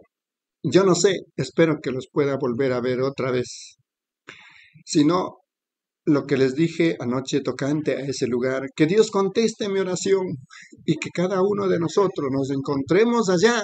Yo los amo a ustedes ahora y ustedes me aman a mí, pero no sabemos lo que eso hasta que lleguemos allá. Y eso es verdad. Confío que si yo puedo volver otra vez, que mi nuevo ministerio que yo estoy tratando de hacer que entre en operación, ahora esté obrando perfectamente como los otros para ese tiempo. Algunos de ellos me dijeron allá hace unos minutos que el bebito por el cual oramos en la plataforma el domingo pasado en la tarde estaba aquí. Si no estoy equivocado, esta madrecita de cabello rubio aquí, ¿está mejor el bebé? Estoy tan contento por eso. Eso es bueno. Dijo que se estaba mejorando, ahora secando, llegando a costra. Ahora, ¿no estamos agradecidos por eso? La congregación dice amén. Los doctores no pudieron hacer nada por él. Si ustedes únicamente supieran, esa enfermedad se disemina por toda la cara y la destruye. Ven, pero ahora está sanando y las costras están en el lugar y está sanando. Estamos agradecidos. Párrafo 6. Espero que esto no lo avergüence. Hubo la mujercita se preguntaba por qué se dijo una cosa en la plataforma tocante a un lugar de donde ella provenía. Ven, el Espíritu Santo. Inmediatamente después de la reunión, yo iba caminando por la calle y me los encontré y me preguntaron. Yo dije, bueno, seguro que sí, eso es correcto. De allí es de donde usted es, usted misma, pero cuando usted se casó, se cambió a alguna otra parte o lo que era allí. Entonces ella lo vio. ¿Ve lo que el diablo estaba tratando que usted hiciera?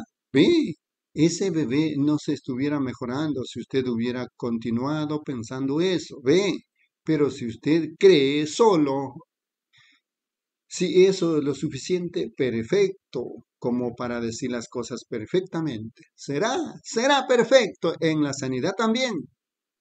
Solo crea todas las cosas, lo que Dios ha dicho, solo créalo, porque no soy yo, amigo, recuerden. Si yo nunca los veo a todos ustedes otra vez, a muchos de ustedes hasta que los venga, los vea en el juicio, esas visiones, esa columna de fuego y la luz son la verdad, es la verdad.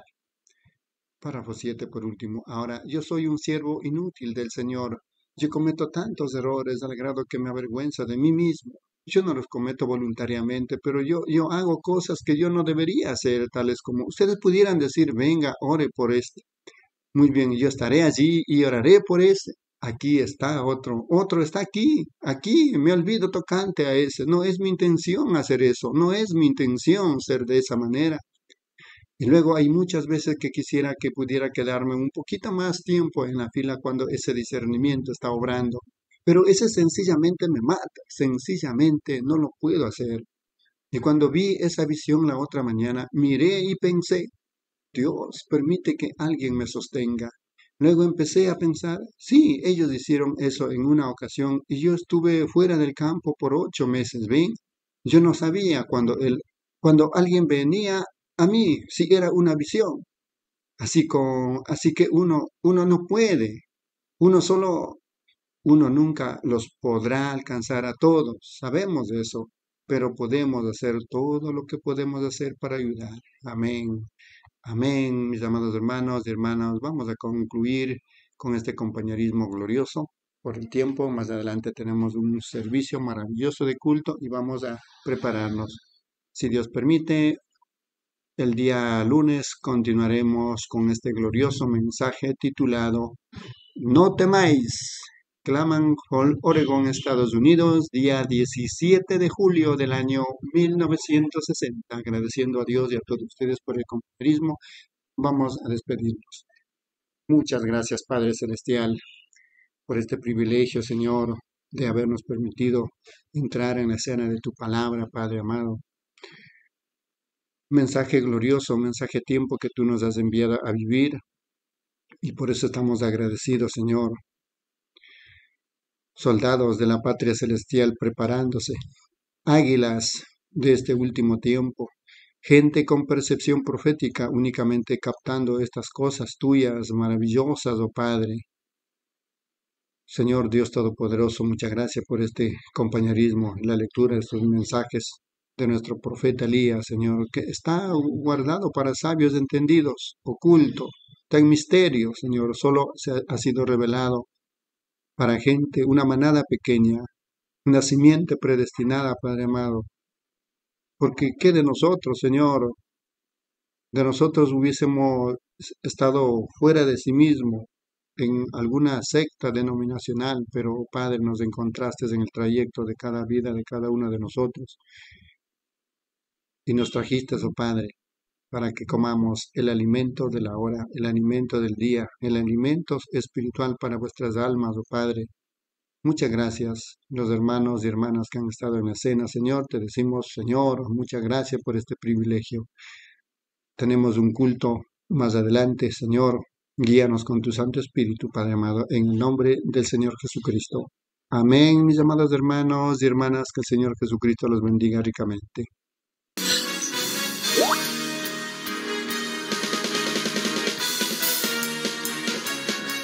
Shalom, shalom, Dios les bendiga.